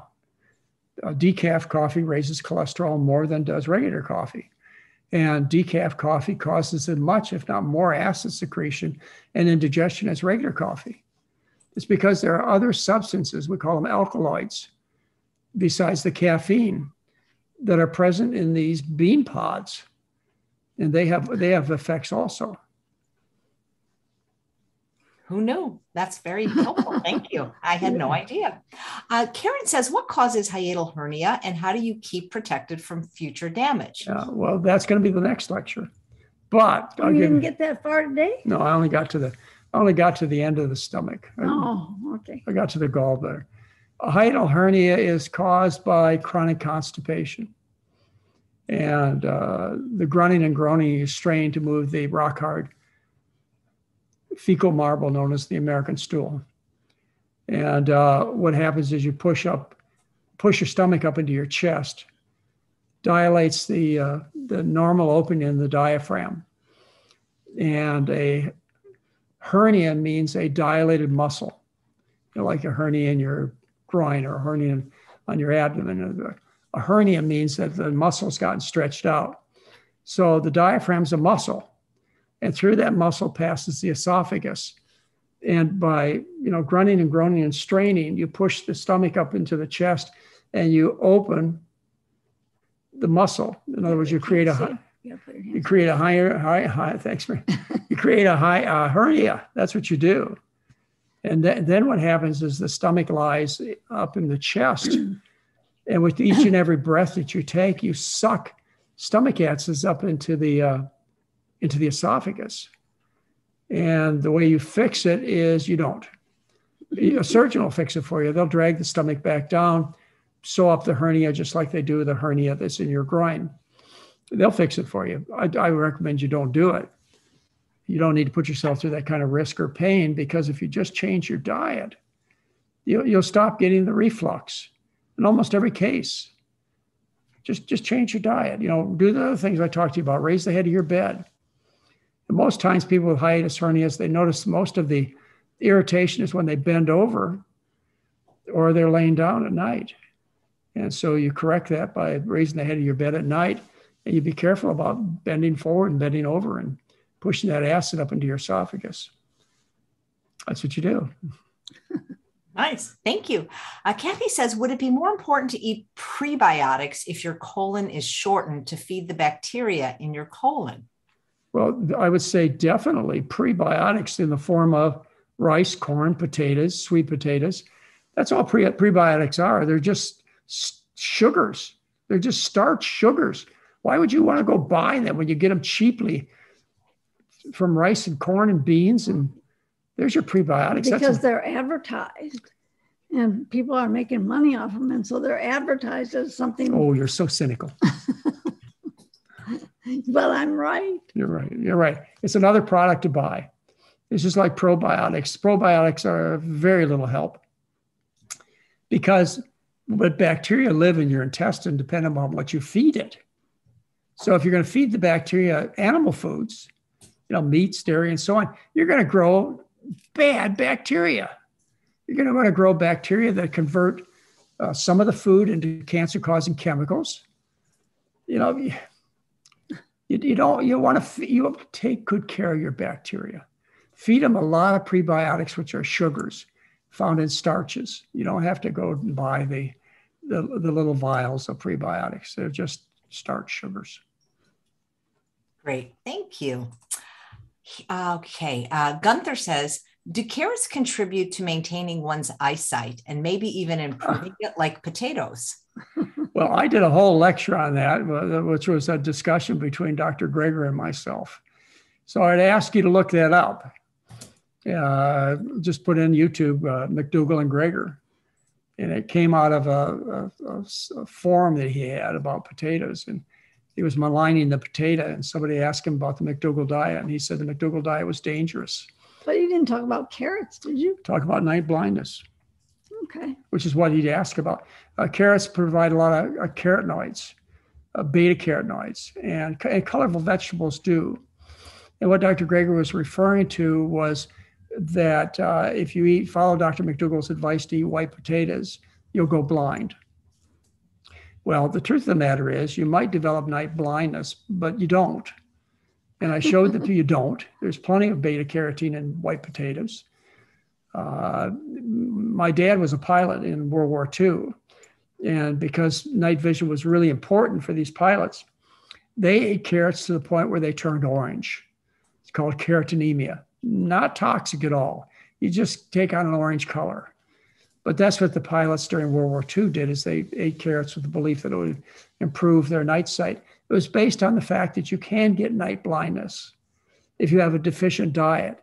But I mean, it really has to be deficient, not just eating white potatoes. It has to be a diet that that is, uh, you know, insufficient in quality and quantity. Uh, these this occurs in people with infections, sick people who are malnourished not not in any anybody was anyway. You'll enjoy this discussion between Dr. Gray. No, it was one sided. I couldn't get him to discuss it, and uh, but it all relates to the carrot and your question, which is, do you have to eat carrots to make your night vision better? No, I don't, because you won't suffer from night vision problems if you don't. Did you? I mean, do you have night vision problems? Do you have night blindness? Night blindness is when you walk into a theater or a dark room and you have trouble seeing things right away. It's not when you're trying to read. Okay. Uh, that, that visual acuity is, of course, the kind that's most important to you. You got to drive a car, you got to thread a needle, you got to read, and so on. Uh, you don't, you know, even if not, you know, night blindness occurs because you're infected and you have terribly malnourished, you still have that acute vision. You, you just have trouble when you walk into a dark room. So do, I ask you, do any of you have night blindness? I don't think so. Do all, what, wait, what do you, does it mean you can't see anything or does no, no, it come you, back? No, you, you, can see. It's just it just looks looks a little darker. Oh, okay. You know, you can see. I mean, you'll be able to find your theater seat. It's just that you'll you'll have. Uh, it's only it's only noticeable when you walk into a dark room. So uh, anyway, um, none of you, probably none of you eat carrots to the point where you turn orange and none of you have night blindness. So just, well, I remember we knew someone who ate who ate that many carrots. We did. Yeah, remember Jan? Of Ryan Jan? Uh-huh. Oh, I, yeah, yeah, okay, I guess so. These, these are a couple of hippies that owned a, uh, a natural food store across from my office in Kailua. Good friends of ours. And uh, she ate so many carrots that she turned orange. I do I mean, remember the palms of her hands. Hey, look at look at this. My orange shirt. Was, they were I was going to say you ate so many. Your shirt turned orange. My shirt turned orange. At least that orange. Now you, you you need to eat a starch-based diet. You know, there, there's nothing wrong with eating a colorful diet, but for somebody to tell you you're going to go blind if you don't eat a colorful diet, that's just wrong. Anybody who maligns my potato is going to get my full wrath. I'll tell you. That's funny. Thank you. Okay. Susan, Susanna says, I've been eating this way a year and a half. I'm 55 year old mid menopausal woman down 57 pounds, but my healthy gums mm. are suddenly receding quickly. Do you have any suggestions? I, I, I would see your dentist, see your dental hygienist. Uh, when you get older, this is, you know, you become long in the tooth. Yeah, it's really important to floss properly and you say so. Clean, you like to floss. Be, well, I hate flossing. Well, no, you but you clean between your teeth with those dental brushes, um, yeah. dental brushes, interdental brushes. That's the same Se- thing. Several times a day. Yeah, you got to you've got to have good good dental hygiene, and you've got to eat a good diet. And it's, it's more than just brushing your teeth. You have to take care of in between your teeth and down by the gum line and things like that. You can't just brush your teeth like that. And the fact that you lost 56 pounds, I'm assuming you did that by eating a lot of good food and not by starving you know, or by eating worse yet, eating the Atkins diet. That, that, would, that would give you gum and tooth disease. So, or malnourishment would give you all kinds of problems. So hopefully you did it by eating a starch-based diet with fruits and vegetables. Yeah, no, she did. She she did. She's doing great. I, I I cannot offer you. I've never, you know, I just I see as people get older, they get long in the tooth. I guess yeah. we can talk about old age now, can't we, Mary? Yeah, we can. All right. You're an expert at it. we've now entered. We've now entered that that particular phase of our life, and fortunately, I have to tell you, for those of you who are still about to embark upon this, they really are the golden years. Uh, particularly if you have somebody like uh, like Mary to live with. It's been just our lives have changed so much. Uh, but you know, it's been 50 years. We've done a lot of things, lived a lot of different roles, from lovers to parents, and we're still lovers, so to speak. Oh, that's beautiful. Okay, can uh, Sage says, can PVCs go away after losing weight? Uh, probably, possibly. Uh, you know, they, there's some evidence that PVCs get better when you eat a healthier diet for a couple of reasons. One is PVCs might be due to uh, a relative hypoxia that occurs from eating fat. You know, I've shown you how we eat a high fat diet, you drop, drop your oxygen tension by 20%. And uh, if you eat a healthy diet, low fat, you increase the oxygen flow to your tissues by 20%. And PVCs are due to a relative hypoxia. There's a little, little low oxygen tension. That's one cause. So that would help. Also, you know, adding some more essential plant fats might help too. It might stabilize the membranes. There's some evidence to that, but you don't want to stabilize the membranes by taking DHA and EPA supplements you know, taking these concentrated oils out of the food is not a good thing to do. You need to eat your your uh, alpha linolenic acid (ALA) with plants. Uh, alpha linolenic acid is the is the precursor to all essential fats. There, it's only made by plants. So what happens is uh, ALA, alpha linolenic acid, is converted into DHA and EPA and all of the other essential fats down the line. We have the ability to do that. We just don't have the ability to desaturate the initial carbon chain at the three position. I'm sure that made a sense to all, a lot of you. Doesn't matter. It don't work. I was going to tell you, it's just you're being you're being poisoned by buying this garbage. I mean, I've been listening to that for 50 years and it still doesn't make sense to me. well, we'll sit down. I'll draw you the carbon chain. I know. I you know see, what a carbon chain looks like. The carbon chain at, at the third carbon, what happens is the body has the ability to remove two hydrogens and create a double bond, but only plants can do that. Animals can't. They can't produce a double bond at the sixth position either, which are the two essential fats. Why? Um, it's the way God made it. I don't know. okay you know, why, why don't plant? Why don't animals have flowers? I don't know. why, why don't plants have feet? I don't know. okay, fair. That's funny. Okay, Tammy says, how long does it take to remove the fat from your liver after eating a whole food plant based diet? Uh, it goes away as just as fast as the body fat does. Okay. See, this is just one more area the body is storing fat. So when you see it leave your hips and your thighs and your abdomen, it's leaving your it's leaving your liver too. What, what happens is the liver, when it gets full of fat, it gets irritated. And that irritation leads to cirrhosis.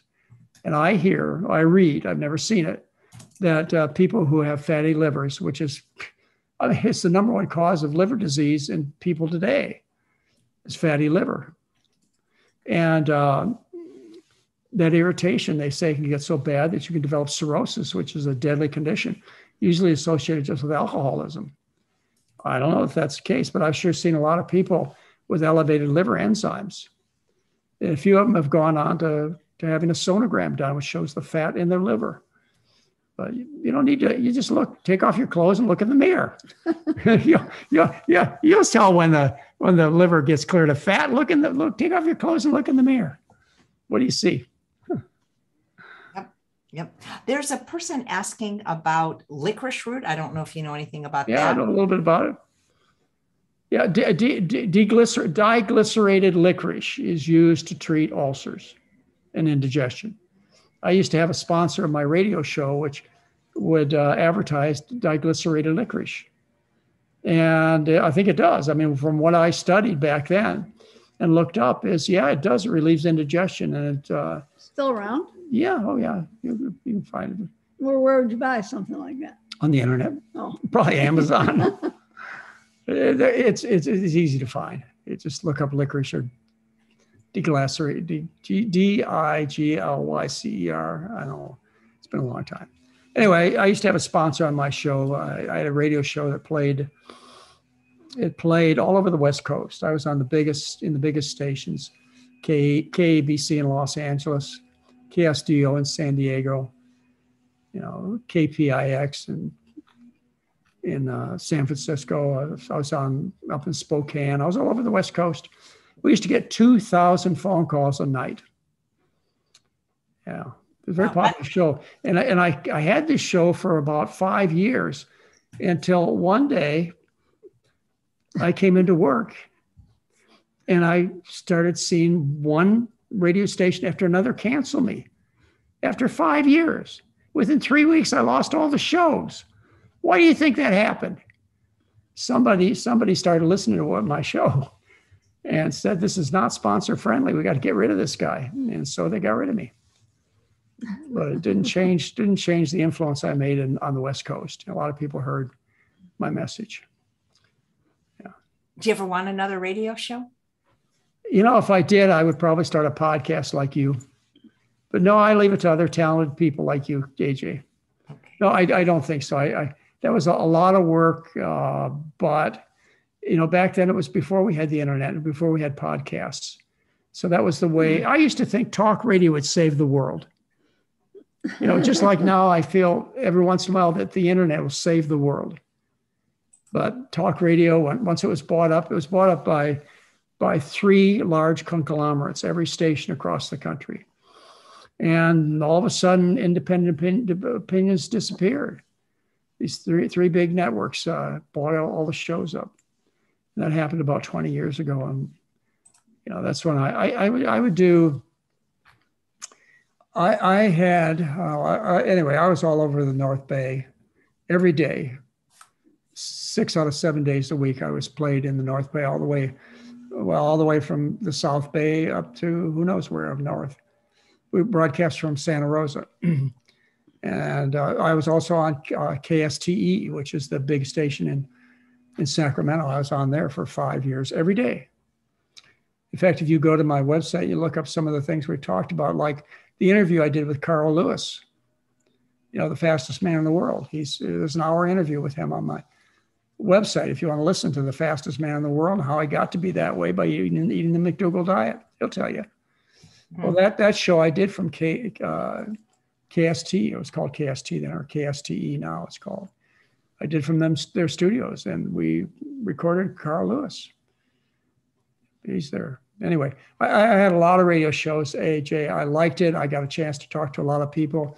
Mary and I traveled all over the West Coast. In fact, we traveled in the in the Midwest giving um, seminars. We'd have 100, 300, 500 people show up for a, a one day event that we we would hold at different hotels around around the country. Nice. Just want to read this nice comment from a live viewer. Can you please pass along to Dr. McDougall that this is my 12 months on the Starch solution? I've gone from 50 inch pant size down to 38. I'm uh-huh. 61 and feel great. Thank you. Wow. You know, it's it's it's so simple. Uh, you it's, it's just a shame it doesn't have any money behind it, AJ. Uh, same thing with the, the, the planetary destruction that's going on now. It was a, somebody, somebody's financial advantage to keep human beings on this planet, along with spiders and snakes and tigers and lions. They're all going to. If somebody could figure out a way to uh, make a buck doing it, they'd probably save this place, but they can't, so they don't. You know, I used to think uh, when I first discovered this, I was, uh, you know, I was a sugar plantation doctor. I told you this, and I studied the literature afterwards when I came back to do my residency.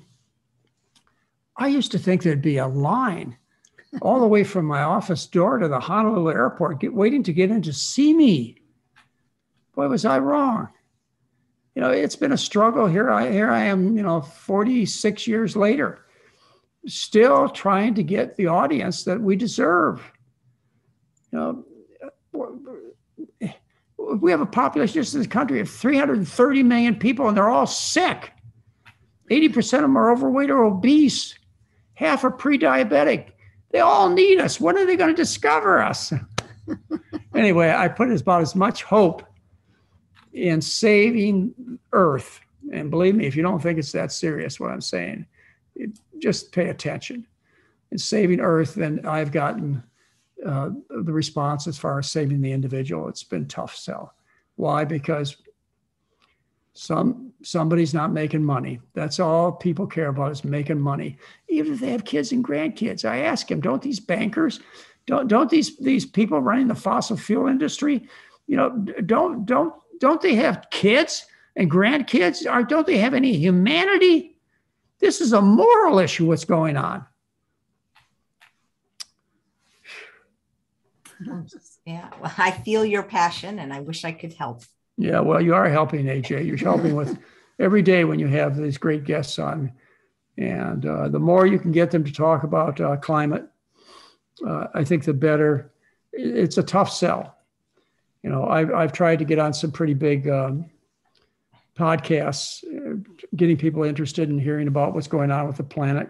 And the fact, you know, I wouldn't even talk about this if we couldn't reduce the output of global warming gases by 80% overnight if people would switch from the Western diet to a vegan diet or what I prefer to call a, tra- a traditional diet. 80% reduction in carbon dioxide output. It's the greatest decarbonizer available to get carbon out of the atmosphere is the switch in diet. Nobody wants to hear that. Oh, they will someday, but you know that day may be way too late just like just like over the last 46 years. Uh, I've seen the population go from where uh, 17% of the adults were obese to where today uh, 40% are obese, and the prediction is that 70 to 80%. And we're not talking about just overweight. We're talking about obese. That 70 to 80% of people will be obese in the southeast United States. You know, down there where they have all that uh, Kentucky Fried Chicken. oh, hey, listen, you just look around. The fat you eat's the fat you wear. You couldn't get that fat without the fat in the food. I don't care how much you ate. I don't care how many potatoes you ate. And of course, you know that's not true. You know that potatoes make you thin. It's the grease, it's the oil, it's the storage of the fat in your fatty tissues, waiting for the day when no food's available. Maybe that's what everybody's waiting for to decide that they're going to save the planet. Maybe they're waiting until they burn up all the they fat they stored. They stored. Oh, I got 100 pounds of fat stored. I can last. I can last. Let's see. I can last another four months. Uh, the planet will be mine. I'll be the only person left. Look at all the fat I've accumulated up there. Everybody else will be dead from starvation. We should probably end this show. Probably. Anyway, that's what happens when you have a wild mind. Uh, a, wild mind get old, especially with one that suffered a stroke at a young age. Hmm. Just just can't control them. So Stephanie, who's watching live, says, "What if the McDougall diet doesn't work for someone with Crohn's disease?" Well, then then the next step would be to go on a gluten-free diet. And by the way, this is discussed in my May 2014 newsletter. So you go on a gluten free diet because that's part of the autoimmune disease picture. And by the way, you can listen to the lecture that I gave on Chef AJ's show about four months ago on autoimmune diseases and diet. And you get the whole picture there. Take you an hour to go through that. You can find it on YouTube. Just look up McDougall and autoimmune diseases. And then the next step that you take is you take, you go on an elimination diet. And that, that's almost always solves the problem. If you don't get it solved there, then what I do is I send you off to Goldhamer. Alan Goldhamer is the he's been friend for 40 years, and they they uh, run a fasting uh, uh, place, you know, where you go. and Very nice. You've been a lot of people have been there. I know some of you folks have been there, and it, it's a nice hotel type setting, and and uh, they really take good care of you. They got great doctors and they'll feed you the ultimate in an elimination diet. All you get is water. And that's why we could never compete with uh, old uh, Goldhamer. It's because his overhead was so much lower than ours. all he fed him was water. Anyway, that, that's your last chance. Believe me, if it doesn't solve your problem, then uh, we can't fix it uh, because you've eliminated everything in the environment that we could possibly eliminate. And by the way, I find very few people need the extra step of fasting, water fasting. Occasionally, yeah, but very few. Most of them can handle it by doing the elimination diet. my May 2014 newsletter. Towards the end of the newsletter, by the way, if you get impatient reading through it. right.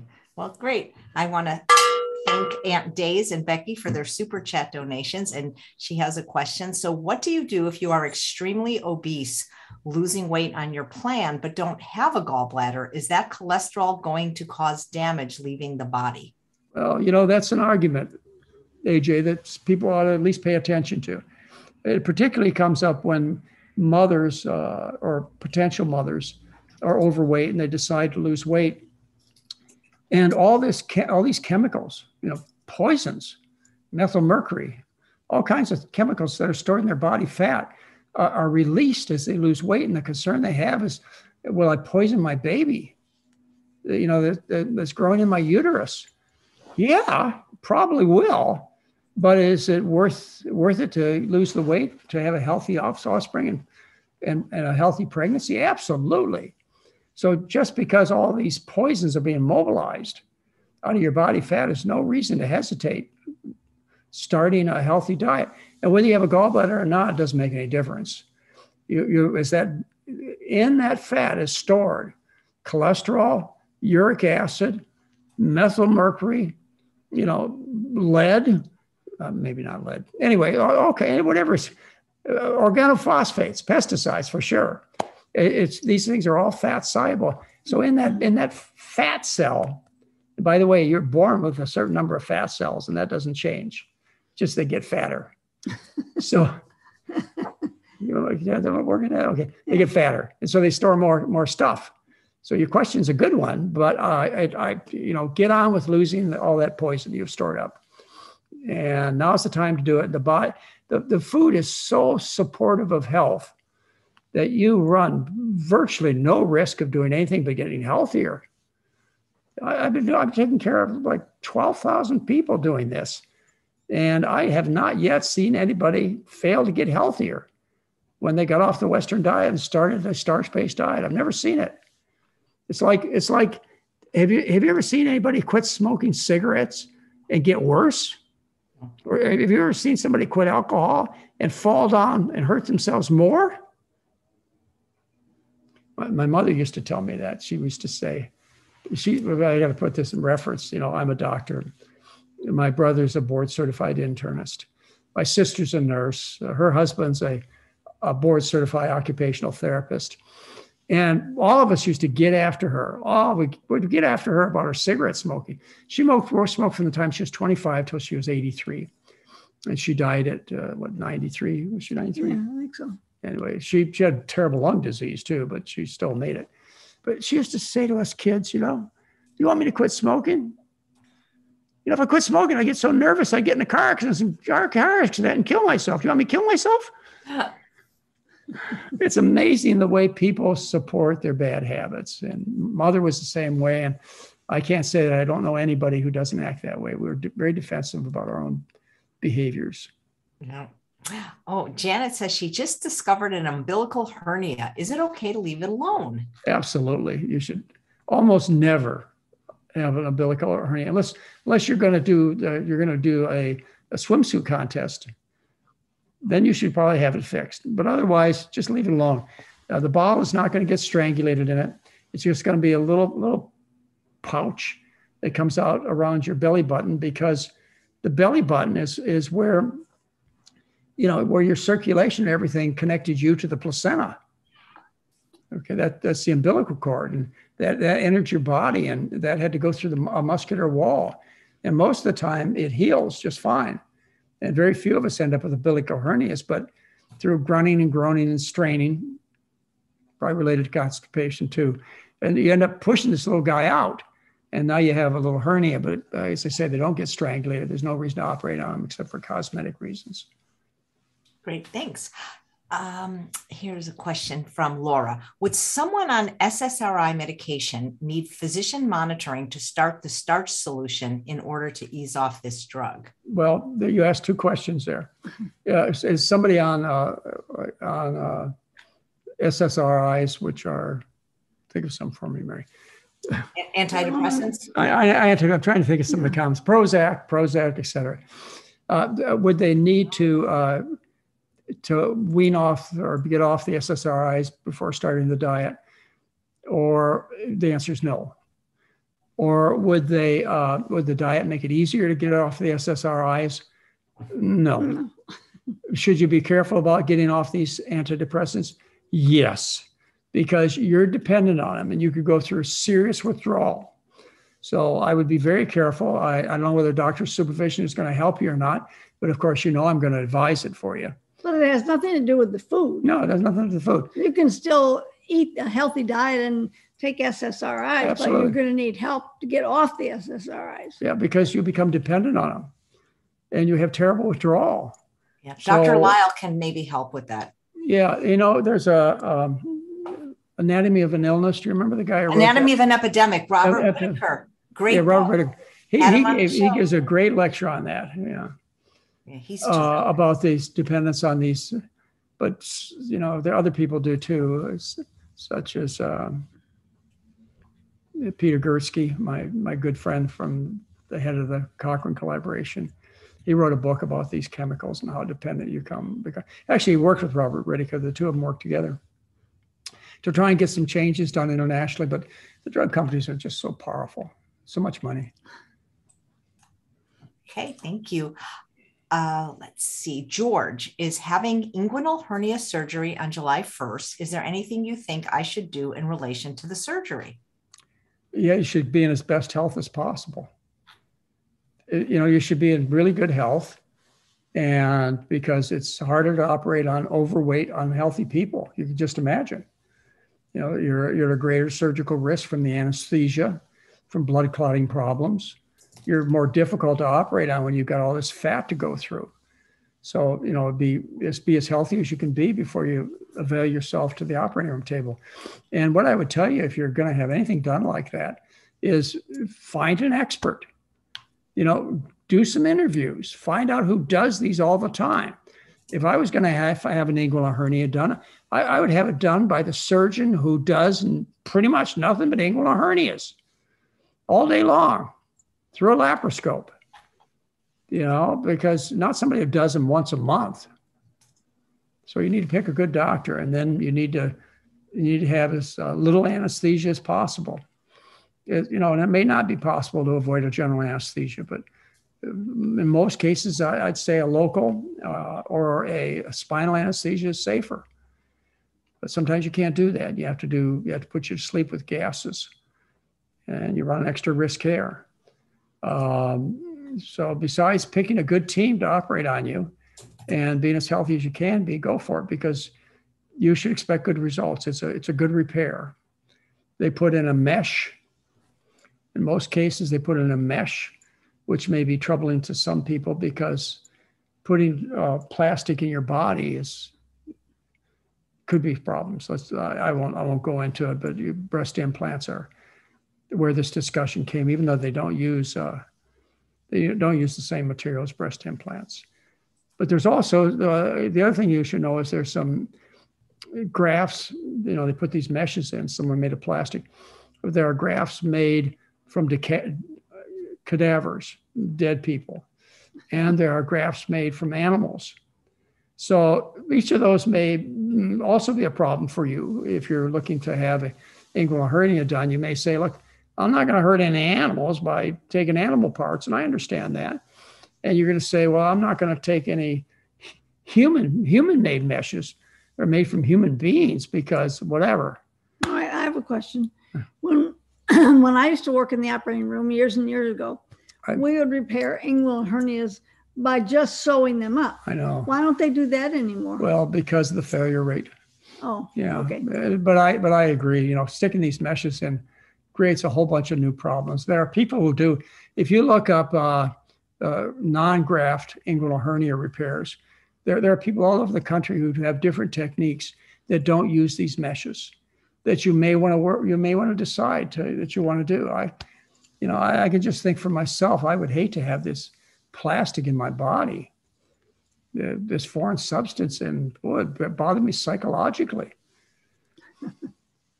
anyway, that that you you got a little little exploring to do, and make sure you got the right surgeon. Make sure you're in as good a health as possible, And if you aren't comfortable with having these meshes made from human beings, animals, or manufactured, then don't then look for somebody who does a, a hernia repair without the mesh. There, just enter it in Google. You get every find everything, everything. Yep. That, thank you for that. Uh, Kimberly says, "What causes Schatzki's ring?" Schatzki's rings. I got to remember what that is. I, I Google it. It's something about it. the esophagus. It says it's a ring oh. of tissue that forms inside the esophagus. Yeah. Well, it'd be from chronic irritation, inflammation. So it would be scar tissue. That's what I, you know, now that you bring the memory back, uh, it, it this is just scar. Scars as a result of chronic inflammation or injury. Mm-hmm. First, you start, and you really need to get this fixed in your mind because there are a whole bunch of people out there that are skipping the step of injury and going on to write tell you that your problems are caused by inflammation. You know, heart disease caused by inflammation, cancer caused by inflammation, Alzheimer's caused by inflammation. Excuse me, Infl- inflammation is the reaction the body has secondary to injury. It's the way the body heals itself. Inflammation is redness, swelling, heat, and pain.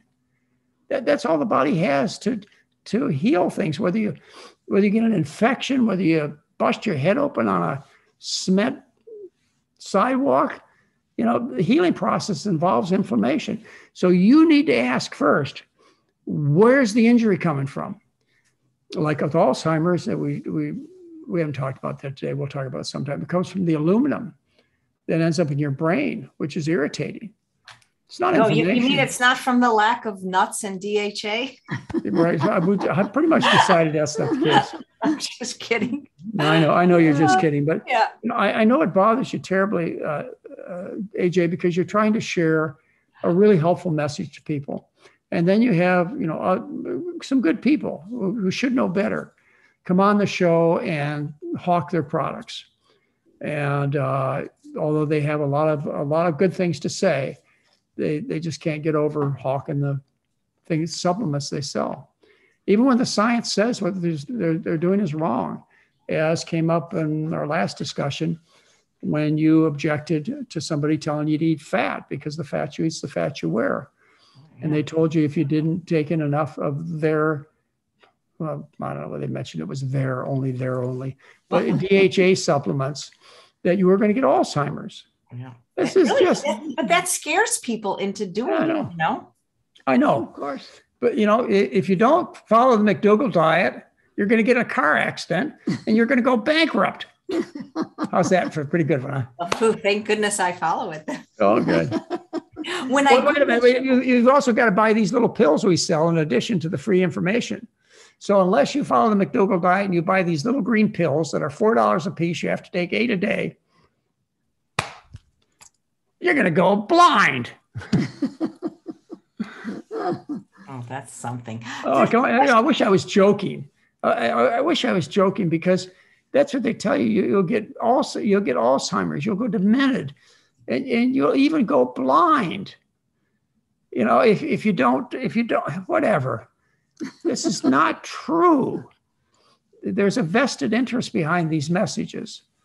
And what's what's what's keeps you healthy is it's free.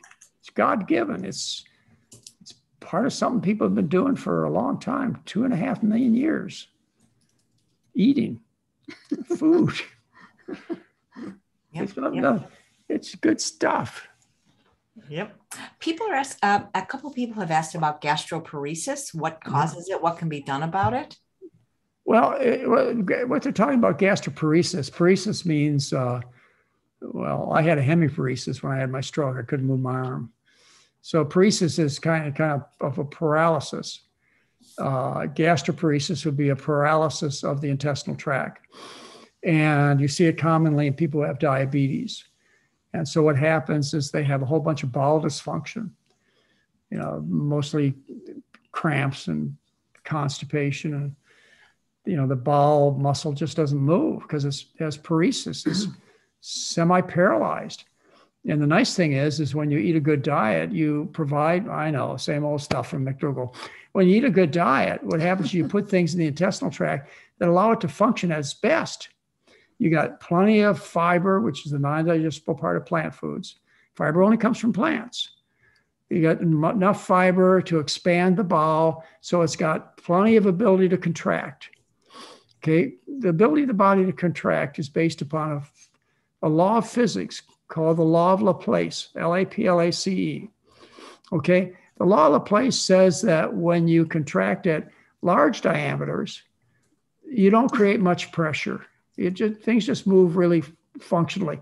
When you create it uh, small diameters, what happens? They're like this, small diameters like this. What happens is you create high pressures. And uh, anyway, uh, to get the bowel to function really well, you've got to fill it up and give it a reason to contract. It contracts based upon filling it. So, But they're probably trying to sell something, right? To make I, the don't, I don't know what they're doing. I, they don't have very good treatment for gastroparesis out Okay. there. They, they, but I but I helped quite a few people who have it. And as long as they follow the diet, they don't. They're fine. And I'm sure there are, are cases where the ball is so paralyzed, so damaged that they won't be fine. And then maybe you have to add a few extra things like some non-digestible sugars like lactulose. Yeah. It's it's mostly the food, folks. It's once in a while I have to use my medical skills. I do. I am a doctor. I'm a board certified internist. I'm licensed in at least four states to practice medicine. You know, and I do have a prescription pad. I know you may not think so, but I do. And I do write prescriptions and I try and practice the best medicine I can for each of my patients, which happens to be dealing with the cause. And then what's left over, we deal with the pills. Great, thank you. Mary, there's a question from Julie. What non-aluminum pans do you recommend? Well, there are so many out there these days that um, what I, the kind I recommend are any kind that has um, a non-stick surface over the top of the aluminum because aluminum is used to conduct heat. So anything that, that is used to cover uh, the aluminum. So there are different varieties. There are many different company, companies that make them. What you're trying to avoid are the ones made from Teflon because they um, have what what Do are, they still sell those? yeah, I think they do, but most of them now They have- on the box they say no PF, Yeah, P, I was going to say it's PFA, something like that. yeah, PFOA or something like Yeah, that. yeah. Anyway, Uh, they're, they're anyway, um, so there are scan. There's ones called Scan Pan. There's one called um, Swiss Diamond. There's one called um, Zinkel Zwilling, and um, uh, they're all good as long as they don't contain the PFOAs. So you just you have quite a mind there, lady. yeah, There, uh, so I don't have one that I recommend specifically because everyone that I talk to seems to have a favorite. Um, Heather uses a different kind than I do. Uh, my uh, my son's fa- and his family use a different kind than I do. So, uh, and they all like theirs. But uh, you know, I, I like them all. Yeah, well, I- we have, I- a lot, we have a lot of I know different ones different hanging kinds. up there. I, I so- have no favorites. Of course, I don't do any cooking either. oh, either. you do too. I make oatmeal for breakfast. Nice. Yeah, really. I- You know, we've been together for 50 years. And, and I'll tell you, it's every day she surprises me. She- She's just so amazing. Well, I, I think, you know, I, I kind of tease her that, you know, someday, and it's going to happen, we're going to get old and she's going to have to take care of me. And she will be able to, thank goodness. And anyway, I was- don't look forward to that, Mary, but you know, That's all right. I'll be here for you. we we've been together so long. I'm sure we'll we'll go out gracefully together. Go out with a bang, flying a plane. Yeah, Oh, that's Yeah, yeah. You know, that, did you see, see flying a plane? yeah. Hey, AJ.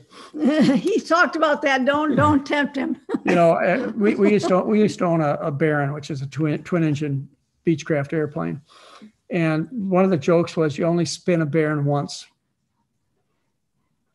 You don't understand, I know, but you only spin a Baron once. They don't come out of a spin. Some airplanes you can spin them, and we've done that.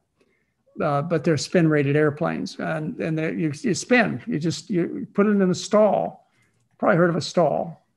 Put it in a stall, and then because you're not going forward, you'd have no lift under your wings, and you just start spinning towards the ground. And the airplane, we had airplanes. I, I think the Dakota we had would, would come out of a spin, but the Baron did not come out of a spin. We never tested it. but you know, that was a joke. That was a joke. You could never um, spin the Baron. And- you got you're tired of life. Let's go spin the Baron. well, gosh, you learned something I did not know. yeah, well, you know, I'm we not. always try to we always try to teach you something new every Yeah. time, AJ. Well, thank you. That's what I, I look forward to this so much.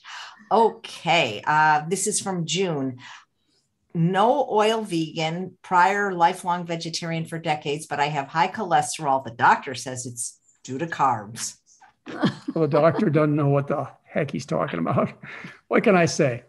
You know, I, I gave a, a talk this past week to uh, a medical school in Texas, uh, to their occupational medical doctors. And, you know, I, I pointed out to them a couple of things. One is I pointed out to them that in 2011, I got uh, SB 380 passed in the state of California, which forces the 11 medical schools in California uh, to teach their students human nutrition. And uh, included with that, that law, which was signed into law by Jerry Brown in September of 2011, is the fact that the 500 hospitals in California need to teach in some of their conferences human nutrition. On my birthday, May 17th, 2022, on my birthday, uh, one of our senators, James McGovern, proposed a law which is passed by Congress. Already it's been passed by Congress. It passed May 17th, which will force physicians to learn what human beings eat. But it's only been passed by one house. The senators will probably dump that one too. anyway, your doctor knows nothing about what human beings eat. So don't take any advice from your physician unless he or she has a particular interest in food. And then ask them about what supplements they sell first. Yep, absolutely. uh, you had earlier talked about in the Adventist bookstores how they have the canned meat, the Worthington Uh-huh. meats. And Susan said, What is really wrong with them? Uh, she doesn't eat them, but she wants to be able to explain to other people. Well, they're 50% fat and they're made of High protein too. yeah, they're made of isolated wheat protein, most of them. They, they take uh, seitan. And uh, the way you make seitan is you take wheat, you grind it up to a flour, and then you wash it with water. You've done that, haven't you, Mary? Mhm. You, it- Just because I wanted to try it. yeah, you wash it. You wash everything away from it except for the protein, which is wheat And protein. you're left with this little glob out of a five pound bag of flour. You're left with this little glob that's about as big as you can fit in the center of my hands. And it looks like library paste. Wow. It's just this white, So they take clear, this clearish white paste. protein and they mix it up with grease, probably vegetable oil for sure, because they're vegetarians. Yeah. And then they make make it into something that resembles I don't know what. I've never seen meat. Sausages and. Uh, Yeah, but the, the cans. She's talking about the cans. I can't. You know what well, it they, put little sausages in the cans. Oh. Oh, uh, I forgot. Oh, I mean, we never ate them either, but I've I've seen them in the stores that we. All I remember is I got kicked out of Adventist camp at least twice because I said bad things. So I'm not going to say any more bad things about those about their canned about the. Morning Star Okay. products or the Loma Linda Well, products. Worthington is what. Worthington. Worthington and Loma Linda. I yeah. you, I used to get into such trouble. Why? because they made a ton of money off selling this garbage to the Adventist. And I said it was bad. I never said it was bad until somebody asked me. I knew better. and I did everything I could to avoid the topic. And lo and behold, you know, 500 people in a crowd, you find at least one person ask that question. What do I think about these, these fake foods made by the Adventist food companies?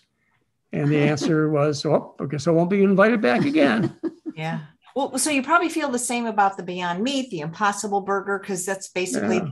Typical ingredients, right? The fat. Well, I, I do. They have different problems with them. Uh, you know, again, I'd have to become an expert to tell you all the problems, but I'll tell you one problem that really troubles me is that when you make fake meats, what you're saying to the public is that meat is a normal part of the diet.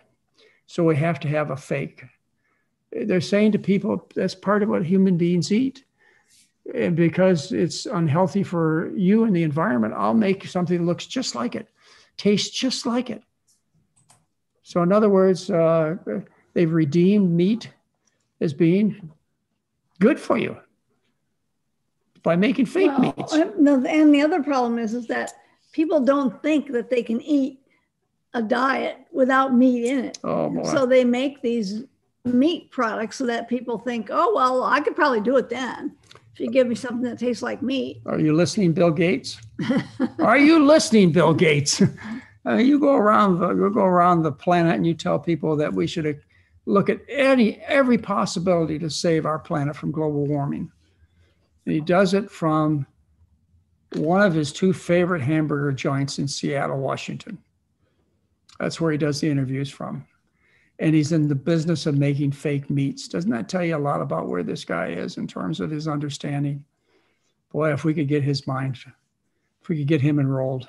Yeah. I, I believe he's sincere. I really do. I believe he really would like to be able to solve the planet problems. I, I know I'm absolutely certain he can. He just can't see over his own dinner plate because he never mentions food as a as the the key ingredient to saving our home. No, he doesn't know. He just doesn't know. He doesn't want to know. That's probably true. You know, he, could, couldn't possibly have existed in this environment of understanding of what's going on and failed to hear about the agricultural businesses and what they do to provide damage to the planet. You know, the cows and the sheep and the pigs, the chickens, and destroying all our fish. Come on, Bill, wake up. Yep. Does Thank Bill you. listen to your show? I doubt it. well, how about Al, Al, How about Al Gore? Does he listen to your show? I really doubt. Uh, you know, Al Gore. Al Gore. You know, when I first did the article on on him and his inconvenient truth lecture presentation, which was phenomenal, changed my whole life. That presentation did. Uh, at that time, he was in the Black Angus cow business. I mean, that was part of his family I think business. he still is. Maybe, yeah. I don't follow him around, so I want to be careful about that. And then back then, back then he used to look like he ate the same thing he raised. wasn't very healthy looking and pretty overweight. And he got trim for a while. I heard he went vegan, and then I don't know what he's doing now. But there's another powerful person. There are a lot of powerful people, but they're afraid. You know, they're afraid about their next election. They're afraid about about uh, whether they might, might not have as big a bank account as they once had. You ought to be afraid for your kids and your grandkids. That's who you ought to be afraid for. Good grief. Oh.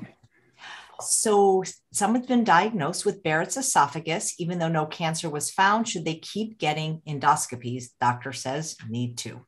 Yeah, well, the doctor ought to look at the data, which says that he cannot find esophageal cancer early enough to save the patient's life. So if you, you know, if you want to hear bad news, keep having the esophageal, uh, the esophagus looked at. You, at your next visit with your doctor, you ought to say, okay, you give me the data that shows that you looking in my esophagus and finding the esophageal cancer at an earlier stage will prolong my life. Show me one, one paper, one, one research, and I, I don't even care if it's a double-blind or controlled trial. Just show me one paper that even suggests it. The doctor doesn't have it. Because that's why you're having it done. You're having it done so that you can live longer. And you believe that by looking periodically, they're going to catch it early enough so at a point where it hasn't spread throughout the rest of the body, they're going to save your life. That's nonsense. And your doctor knows it. He doesn't, give my give him my email address. I'll make sure he does. Okay, thank you. Oh, we have a question. I forgot to even look at the ones that were previously submitted because there were so many in the chat. But Terry says, can you please ask Dr. McDougall and Mary how they feel about mushrooms in the diet? We were comparing the whole food plant based diet with the Gerson method, which doesn't allow mushrooms because they're a fungus. We're at a totally healthy, good weight, but we're wondering if mushrooms should be included. Well, that's you know that that's a, a deep question. Uh, in this day and age, mushrooms mean something different than they used to. So we'll just talk about the regular old mushrooms. I I don't know anything unhealthy about eating mushrooms, and uh, so I, I, would think it'd be hmm. fine to include. We, we use them all the time in in our food, and they they taste great. They add a lot of flavor to food. So um, I, I I don't see them being magical as far as healing you either. So anyway, those those are the mushrooms you're talking about. Yeah. I mean, most most people in the plant-based space say they're very beneficial for so many reasons, anti-cancer and right. I, I think they're stretching it a little bit. You know, the, I think most of this is theory, but uh, I, I think it's enough to say that they're not in any way harmful. They're plant food. You know, they don't scream when you harvest them. I never liked them though. I mean, I'll eat them because they're, but I, I don't really like them. They're just, Yeah, yeah, they're- I understand. They're, they're just something kind of weird to me. I, I like them in the air fryer when they're dry, but there's just something, I don't know. I just Right. don't like mushrooms. I'll eat them, but I Well, don't. they get really slimy if they get too wet. yeah, there's just something. So, so you're not, you're supposed to eat them really fresh and you're not supposed to get them wet. You, you clean them with a brush and not water. Right. They're just not my thing, but I'll eat them. I'm not, I'm not that picky. Yeah, But, And- but AJ, I think the message that you should get is if you don't like them, don't eat them. Yeah, I mean, I mean, I, I, I, what I mean is like if I'm going to somebody's house, not that Yeah. I've been invited anywhere, I- I wouldn't, I wouldn't not eat it because of that. But on my own, I Uh, really don't seek them out. You know what I mean? Yeah. Yep. Yeah. Okay. So this was sent in by what's your name? Barbie. Uh, she's been following your plan for over four months. She just saw her doctor regarding her three month blood test. A1C was lower, cholesterol was in normal range, lost 12 pounds. However, her triglycerides were significantly higher before she began the vegan diet. No, been no oil, but she's added rice and potatoes and wondering if that's why her triglycerides could have gone up. Well, when she says significantly higher, my guess is they're still within the range. Uh, triglycerides uh, do go up when you change to a starch-based diet, but that's because uh, uh, eating all those animal foods and lack of carbohydrate uh, artificially suppresses the blood cholesterol uh, or triglycerides. Triglycerides are fat. All right, and uh, they're, they're fat in the blood is what they are. I think the best way to imagine it is if you put a pot of chicken soup in the refrigerator, you get a layer of fat forming on top. And that's what triglycerides are. If I take your blood and I suck it into a tube, you know, through a needle, and I set the tube on a counter, within a matter of uh, an hour, you'll have a layer of fat on the top. That's the triglycerides. There are some people who have so much fat in their blood that before you take the needle out of their arm, the fat's already separated from the red blood cells, and you can see this big glob of fat in the tube. So, uh, if the triglycerides went up, my guess is they went up from 80 to 140 or something like that, or 120 to 180. A, normal triglyceride is less than 200. But that that's still darn low. I don't really start even thinking about whether I should give any special advice to somebody if their triglycerides are say below three to 500. And when you get up to a thousand, which I've seen quite a few times, you know, I'd be concerned because there's so much fat in the blood that the blood sludges and you can increase the risk of, uh, of organ damage, such as pancreatitis. And my record in triglycerides is a, a fellow I saw with a triglyceride of, of 5,558 Wow. which by the way, in 12 days, we got down to 900. So uh, alcohol raises triglycerides, sugar raises triglycerides, uh, even fruit, I think, raises triglycerides. So if you're concerned about the number, I would make sure all the alcohol and all the simple sugars were out of the diet. and no smoothies. Right? No smoothies, yeah. But but if you're not concerned about them, you shouldn't be unless they're up in the, you know, four, five, six, eight hundred range. Then I would uh, I would I would not worry about them because in time they come down. When you stop losing weight, one of the reasons that triglycerides go up is because you mobilize fat from your body fat into the blood. Remember, triglycerides are just fat in the blood. So when you lose the weight, they move from the body fat to the bloodstream. So that's one reason you will do it. You know, just starving will move them into the bloodstream too because you mobilize fat. Anyway, uh, there's no good treatment for high triglycerides. We used to use niacin, but when the studies came out that showed using niacin increased the risk of stroke, most doctors stopped using it. Uh, we used to use clofibrates, which are still prescribed. You know, big money made in clofibrates, but they increase the risk of cancer and they don't prevent heart disease. So the only reason I can think of prescribing is to make the drug company some extra money. And uh, otherwise, just time. When you get down to trim body weight, a little exercise helps lower triglycerides.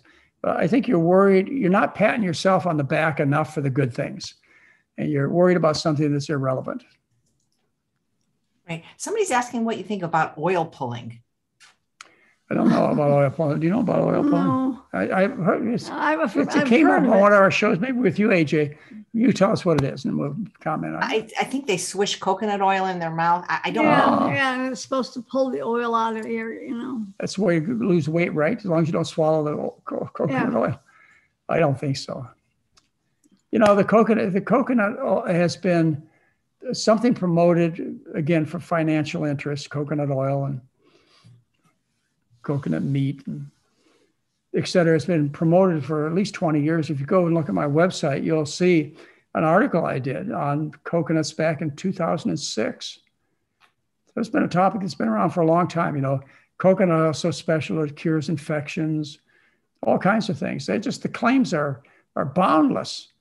You know, coconut oil is the oil made by the coconut, which happens to be a plant, happens to be a highly saturated oil, which has been the reason why for years it's been associated with more heart disease. I don't know if that's true because it's a plant.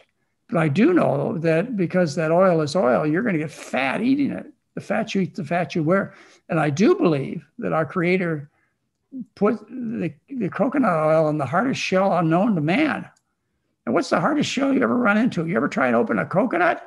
It's really hard. Yeah, you got to get your hammer out there and maybe more. And you don't open it with just a little nutcracker.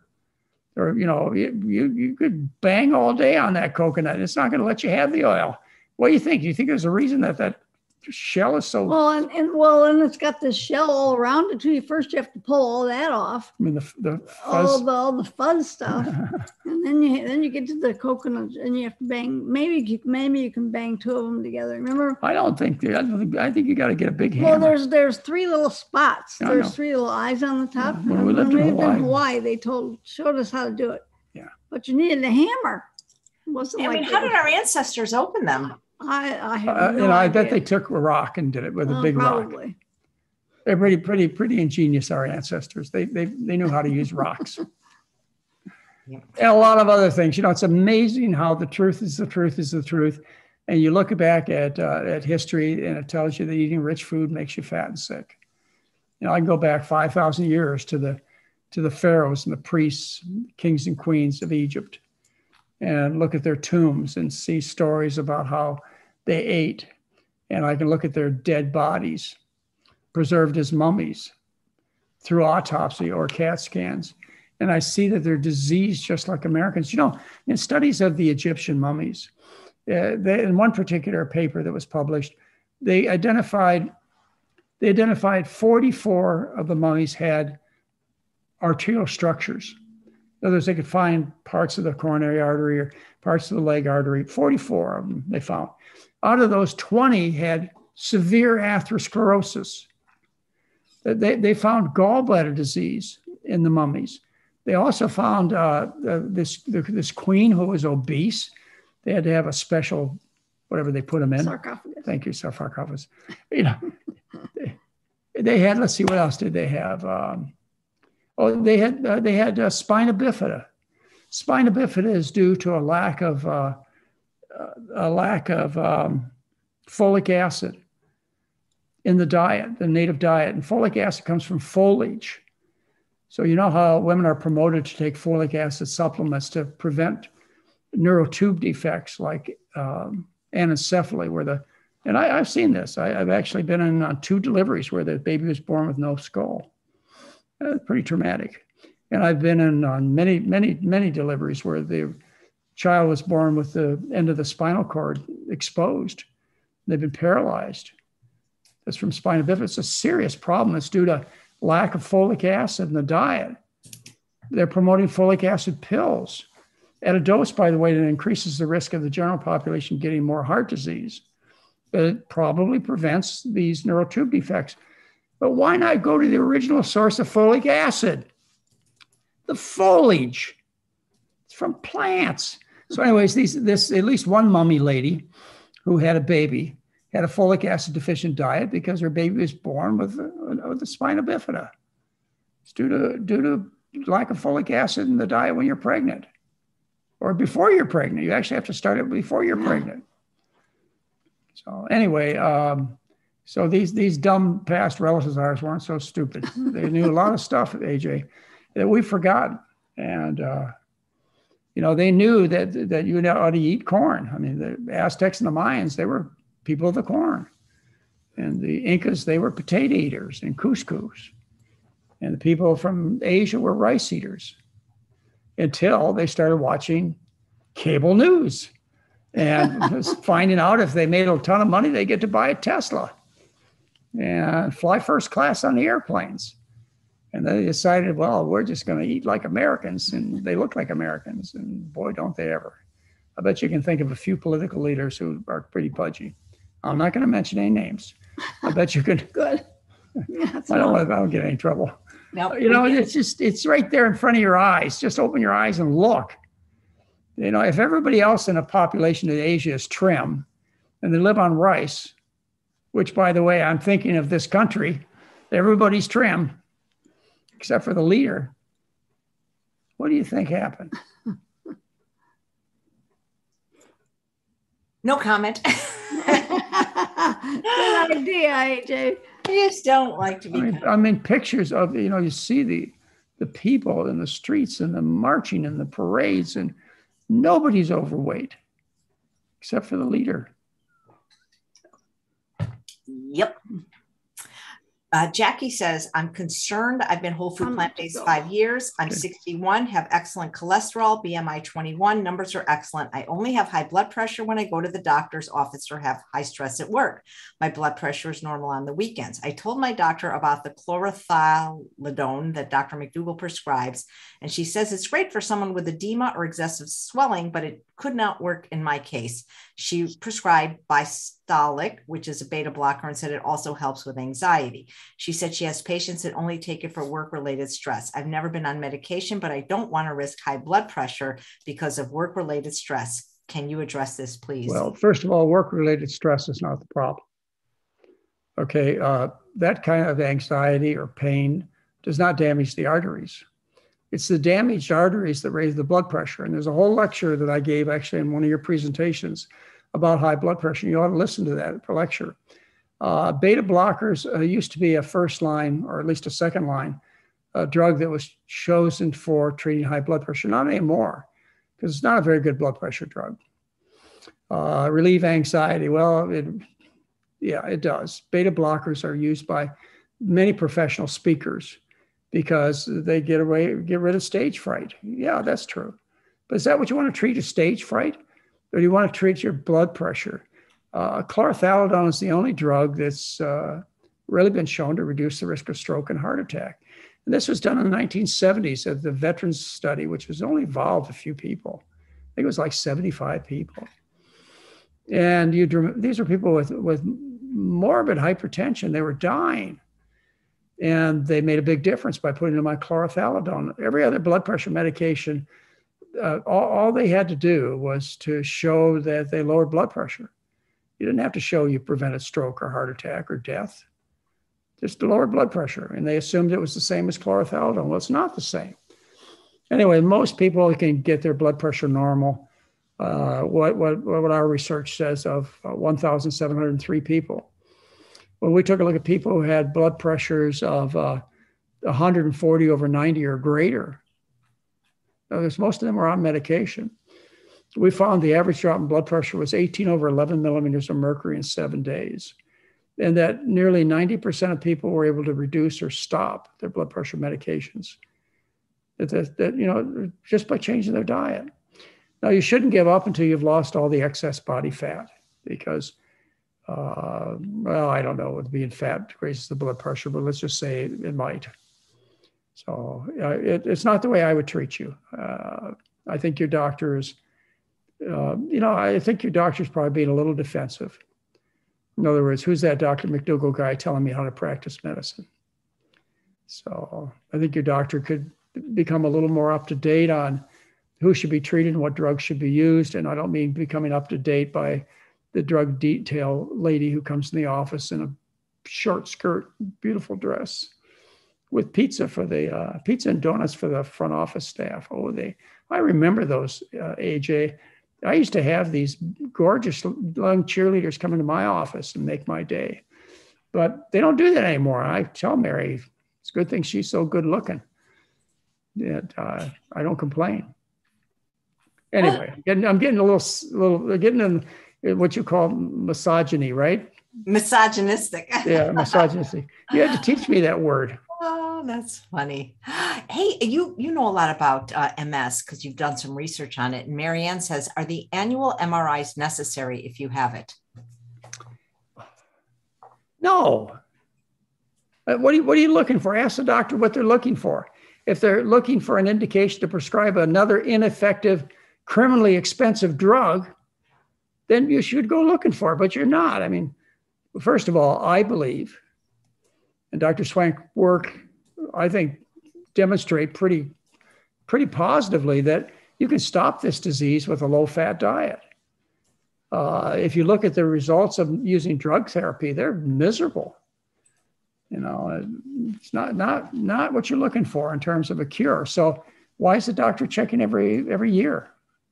You know, if, if there was any drug that worked well, let's let's do it now, doc. Let's not wait until I end up losing a whole bunch more of my brain. Let's do it now.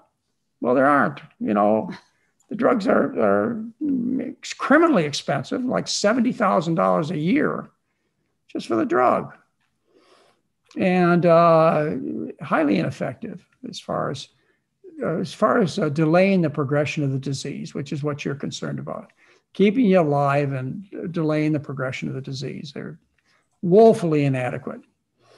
And uh, anyway, challenge your doctor with those thoughts. You can tell them who said so. right. You're going to love this question. You've answered it before, but well, don't we need fat to absorb the nutrients in our greens? Yeah. Well, it's actually, I think it's more, don't you need fatty salad dressings to, to absorb the vitamins? That we get in our salad leaves. Yeah, the vegetables. Isn't that? I think that's where the discussion comes from. And again, this is about 25 years ago. And you can go to my website, look under hot topics, look under the section on nutrition, look under vegetable oils, and the research paper that originally suggested this, you will find as well as my answer to this. And essentially, it comes down to yeah, there's a little bit of truth in it, but you get plenty of absorption of these uh, vitamins and other essential nutrients without adding the oil. And why there's should oil you, in our food? Yeah, well, there's enough oil in the food. To, fat soluble vitamins are absorbed. Yeah, it, it's, you know, rice is five percent fat. So, anyways, uh, it does, does it's it's not a, not an approach you want to take. It's an old idea, which has been put in proper perspective. I did it. I think I think I think this idea should have died a long time ago. Yes, you have vitamins that are like to be absorbed when they're in a fatty environment. Okay, fine. As Mary says, there's plenty of fat in the food. You don't need any extra fat. Right. Here's a question I don't think I've heard before on hyperhidrosis. Can you, uh, question from Lauren, can you ask Dr. McDougall, will the starch solution diet take care of it? And does he suggest not to take a multivitamin?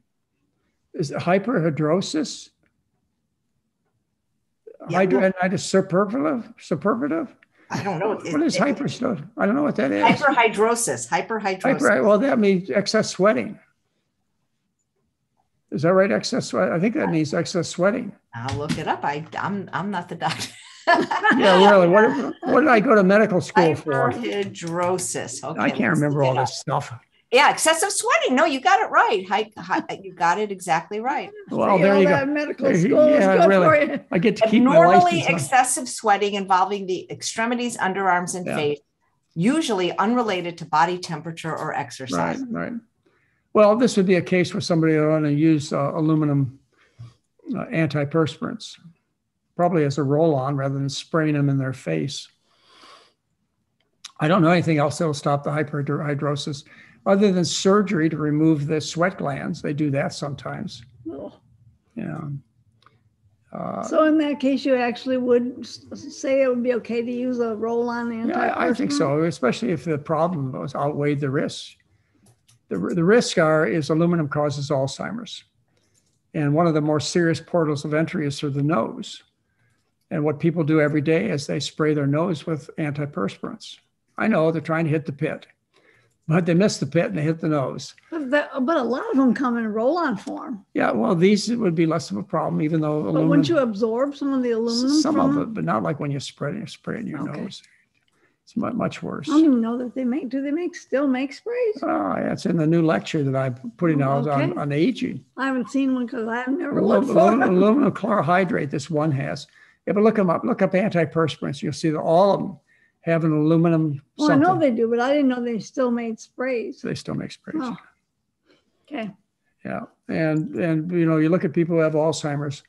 Those who have the worst cases, the most progressive cases, the most severe cases of Alzheimer's, have the a large number of what we call senile plaques in the stalk of the brain called the olfactory lobe, and that's why we know the more serious portal of entry is through the nose, not the mouth, for aluminum. The mouth is important too. The skin's probably important too, but the nose is a big deal. Don't spray it in your nose. Uh, Darlene wants to know if your diet can help Parkinson's. Well, only in the sense that uh, the kind of diet I recommend is low on the food chain. So that means you're going to have less fat soluble chemicals in your basic diet. Uh, organophosphates, pesticides is what we're talking about here, are fat soluble chemicals, and that's how you get Parkinson's. You have a genetic tendency, which uh, is that you can't you can't take the organophosphates and deactivate them in your system as readily as as most people can. Because most people breathe in pesticides, organophosphates. I mean, they're damaged. These are toxic, toxic substances, but they don't die, end up with Parkinson's. Parkinson's disease occurs in people who are who genetically can't break down the organophosphates. Actually, the alleles, the, the genetic markers have been identified uh, as far as parts of the of the genome that uh, produce enzymes that break down organophosphates. They're, this is all worked out. You can look up on the internet. So you can look up organophosphates, uh, pesticides, and Parkinson's. You read all day. Uh, why aren't you told much about it? Well, because show me the money. There's no money in it, right? There's no treatment for Parkinson's either. Well, there's there are treatments, and they just kind of uh, help with the symptoms. Like there's levodopa or Sinemet, which has been a you know revolution in the care of somebody with Parkinson's. Parkinson's patients they have all these uh, these motions that are hard to control or stiffness. Well, they're, they're, uh, not not uh, non-intentional tremors. In other words, they sit there and they just move like this, and uh, pretty good. Huh? Very good. Yeah. Well, that's because I've seen a lot of people with Parkinson's. Anyway, uh, they're taking levodopa, which is a you know substance that's well, anyways, it's a it's a chemical that the brain requires, and it will quiet these Parkinson's movements down tremendously. And we we, we give the levodopa in the form of something called Sinemet, which is uh, a compound that causes more levodopa to get in the nervous system because the nervous system breaks down the levodopa and it activates it. And so they sell it as Sinemet, and it's a really good drug. But you, you, first of all, you want to not get the Parkinson's, because once you've once you have destroyed the substantia nigra of the brain, which is like right here, it's gone. It'll grow back. So you need to eat a diet, live in an environment with very little pollutants. And the diet that gives you the least environmental contamination is our diet, because you eat low on the food chain. You increase the concentration of these, these fat soluble poisons a thousandfold as you move up the food chain. It goes from the seaweed and the plants and the grains and the grasses to the fish and the cow and what else grazes, whatever, cow grazes. And and then when we eat the cow you know we increase we take in a whole bunch of that stuff which represents tons of grain that the cow ate. You you biomagnify the concentration it becomes biomagnified. And then you get to the top of the food chain and who's at the very top of the food chain We Well, are. No, no, it's it's it's babies suckling on mother's breast. You know, the, we have, of course, this baby formula thing going around. And you know what I think every time they talk about having a problem with baby getting the baby formula is I think there should have been a lot more encouragement to breastfeed. Is what I think. Even though there are some women, as much as uh, they, they try, they can't breastfeed and they have to go on these uh, these infant formulas. And by the way, if you haven't noticed, the infant formulas that are in short supply are the ones that uh, They're hypoallergenic. hypo, yeah, hypoallergenic. They're the ones that are specially processed. They uh, they put them through a, a process that that breaks up the cow protein so it's less allergic, and those are the ones that uh, that are not on the marketplace, not the regular formulas. So these parents with you know a lot of the parents that have kids that they think are need these formulas and they don't. And this would never have been a problem if they'd have breastfed. And New Zealand is one country that does not allow these formulas to be sold over the over the counter. They think they're dangerous enough. And I don't want to go into the details of that because I haven't really looked into it lately. But anyway, uh, this is a problem. And what you need to do is correct the problem by doing something naturally, which is encouraging more breastfeeding. And then you, you know, anyway, I, it's it's more than That's I want to talk about. enough. That's enough. Did you answer the second part of the hyperhidrosis question about not recommending a multivitamin? I, I, I can't imagine why a multivitamin would help. This is a problem of, of excess production of sweat by the sweat glands. Well- the only way I know that can stop it is aluminum based uh, antiperspirants. I I've never, I've never heard of a vitamin causing think- it or correcting it. I think they were just asking that as a second question, just in general. Do you recommend people take a multivitamin? I, I strongly recommend you don't take vitamins, except for B12, which is a whole separate conversation. When you take vitamins, you're taking isolated concentrated nutrients, which cause imbalances in your cells, which cause you to have an in- increased risk of cancer and heart disease and death. The estimates are based on large studies. If you take uh, things like beta carotene, folic acid, uh, vitamin E, a whole bunch of supplements. I, I, I can't think of one that doesn't have this type of reputation with it. Uh, you increase the risk of cancer and heart disease by about 20 to 30%. And you increase the risk of dying overall. And taking a multivitamin, I'll never forget this particular research paper. The Cochrane collaboration estimated, these are people, you know, I have a lot of respect for.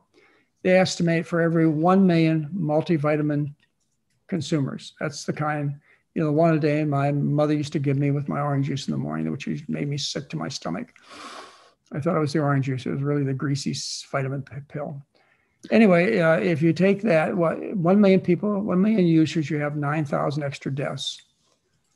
You create nutritional imbalances. You see, all this has been worked out for hundreds of thousands of 400, 400 million years. You know, the food with the organism, it's all been worked out.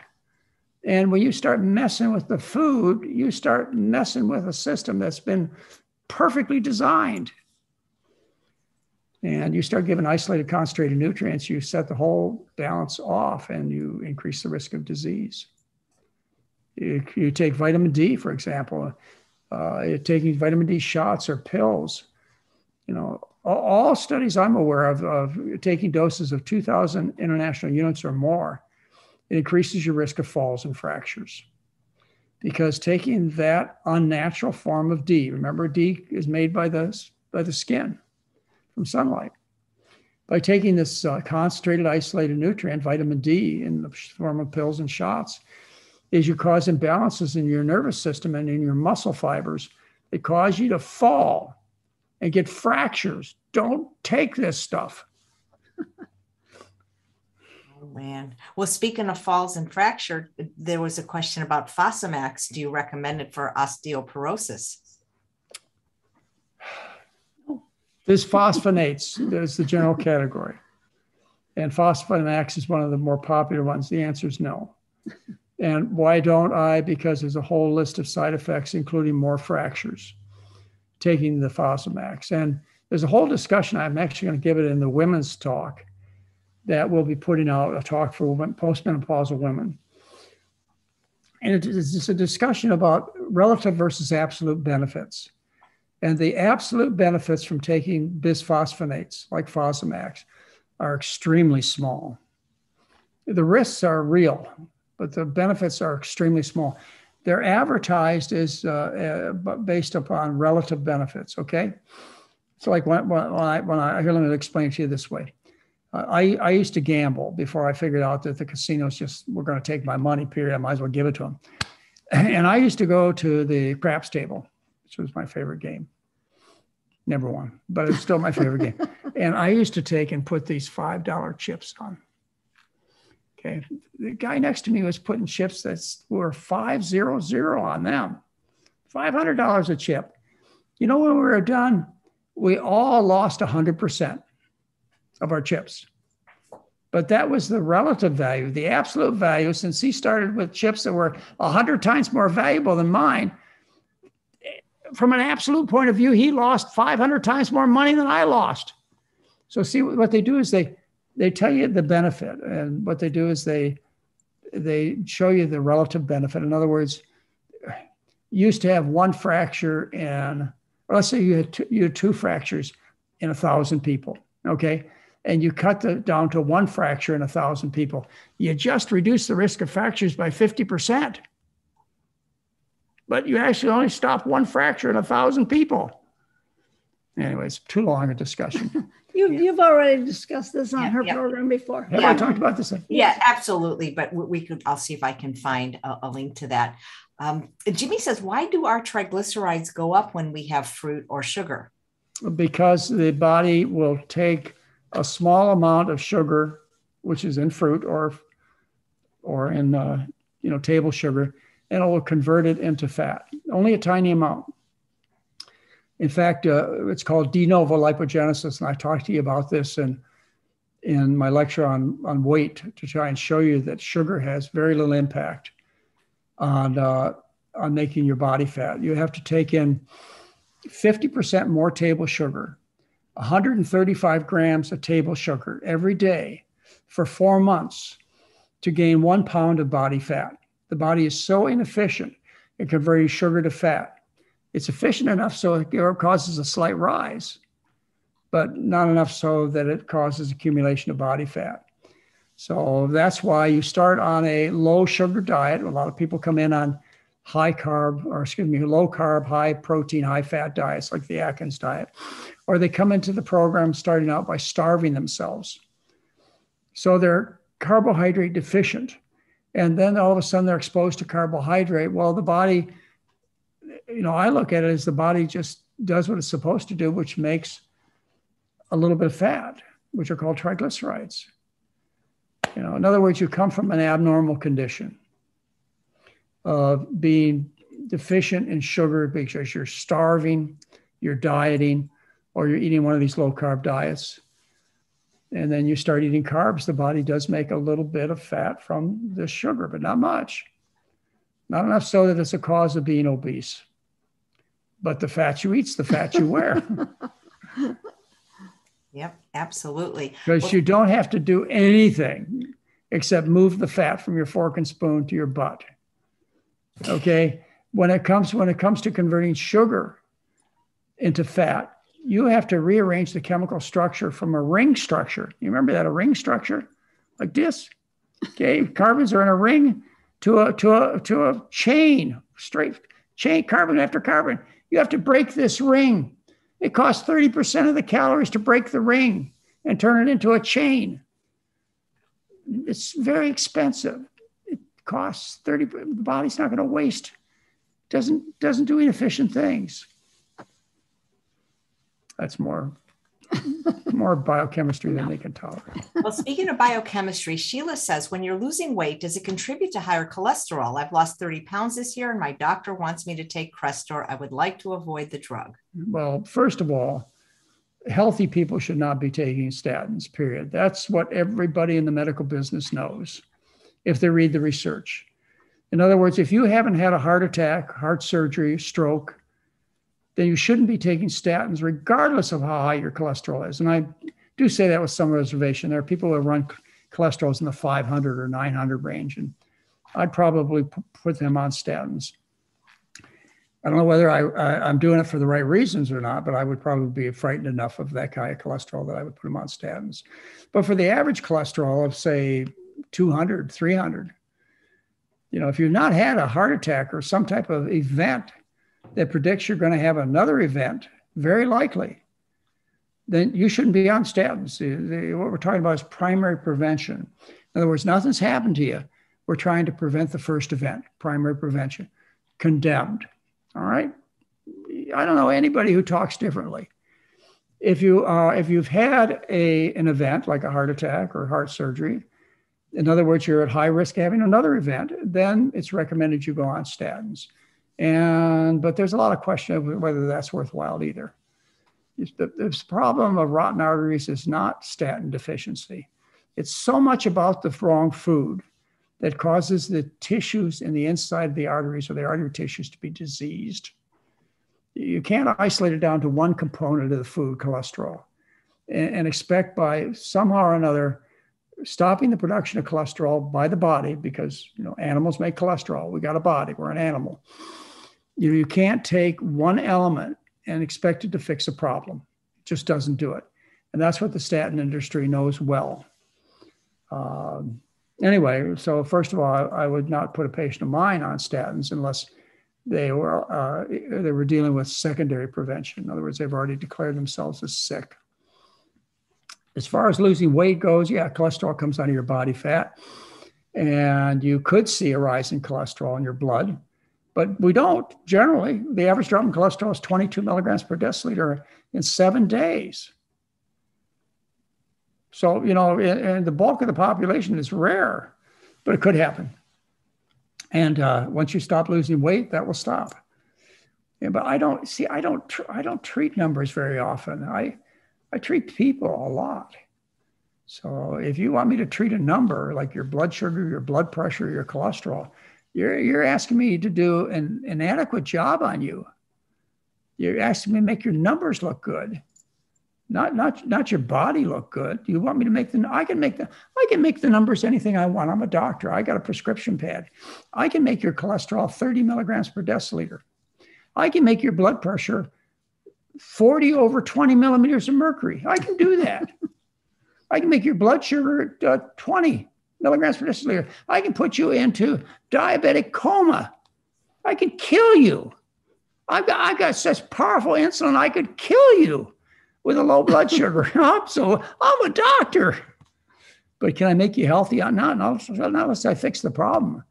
You got to fix the problem. The problem's the food. And then you use these medications for whatever pickup you can get after you've corrected everything you can correct by fixing the, the food. And I do. I use, listen, I told you I got I got a prescription pad. I'm a real doctor. And I don't mess around either. I mean, if I think you need a medication, you get it. And I'll tell you why. And if you still feel you don't want it, I'll respect you. Because if I had anything to offer that had only good and no no evil associated with it, in other words, everything I offered resulted in positive effects and no negative effects, then I wouldn't have any purpose prescribing it to you. But everything I tell you to do, pills, surgeries, everything, it's got a downside to it. And you're the one that's going to suffer, not me, not the doctor. You're the one that's going to suffer by decisions made. And so if you say, after listening to all the positive and negative effects to a treatment proposed, that you don't want to do it, you'll find me respecting your decision. As long as I've explained to you uh, exactly what I think, and your doctors ought to be taking care of you the same way. They should tell you the whole truth and nothing but the truth behind what they're doing. Don't leave anything out. They just really leave a lot of stuff out. Don't leave anything out. Tell me the whole story, doc, and so I can just make a decision. It's my body, it's my money, it's my family. You know, you're just an advisor. I just hired you for advice. That's what I hired you for. you think uh, I, these, these people are just trained consultants you're hiring. You're the boss. They'll show you respect, I think. Some of them do. Yeah, not all doctors are, are practicing what, what I consider dangerous and inadequate medicine. There are a lot of really good doctors out there. And especially, there are a lot of them that are trying to do the right thing. And if they are trying to do the right thing, they discover that most people are sick from the food. And then they fix that. Otherwise, they're still playing around with the drug business and they're never going to get their patients well. I've heard, heard me say a thousand times, I'm the luckiest doctor in the world because my patients get well. When I practiced the other kind of medicine, all I did was push pills, push drugs, gave excuses as to why it didn't work, sent you off to mutilating surgeries that in most cases did more harm than good.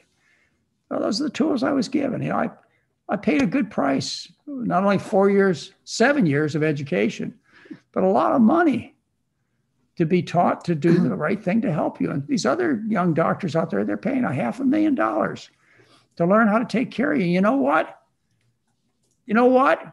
They forgot to teach you what human beings eat, which is what James McGovern's new law passed by half of Congress, not the senators yet, will make it a national requirement that your medical schools have to teach what a human being eats.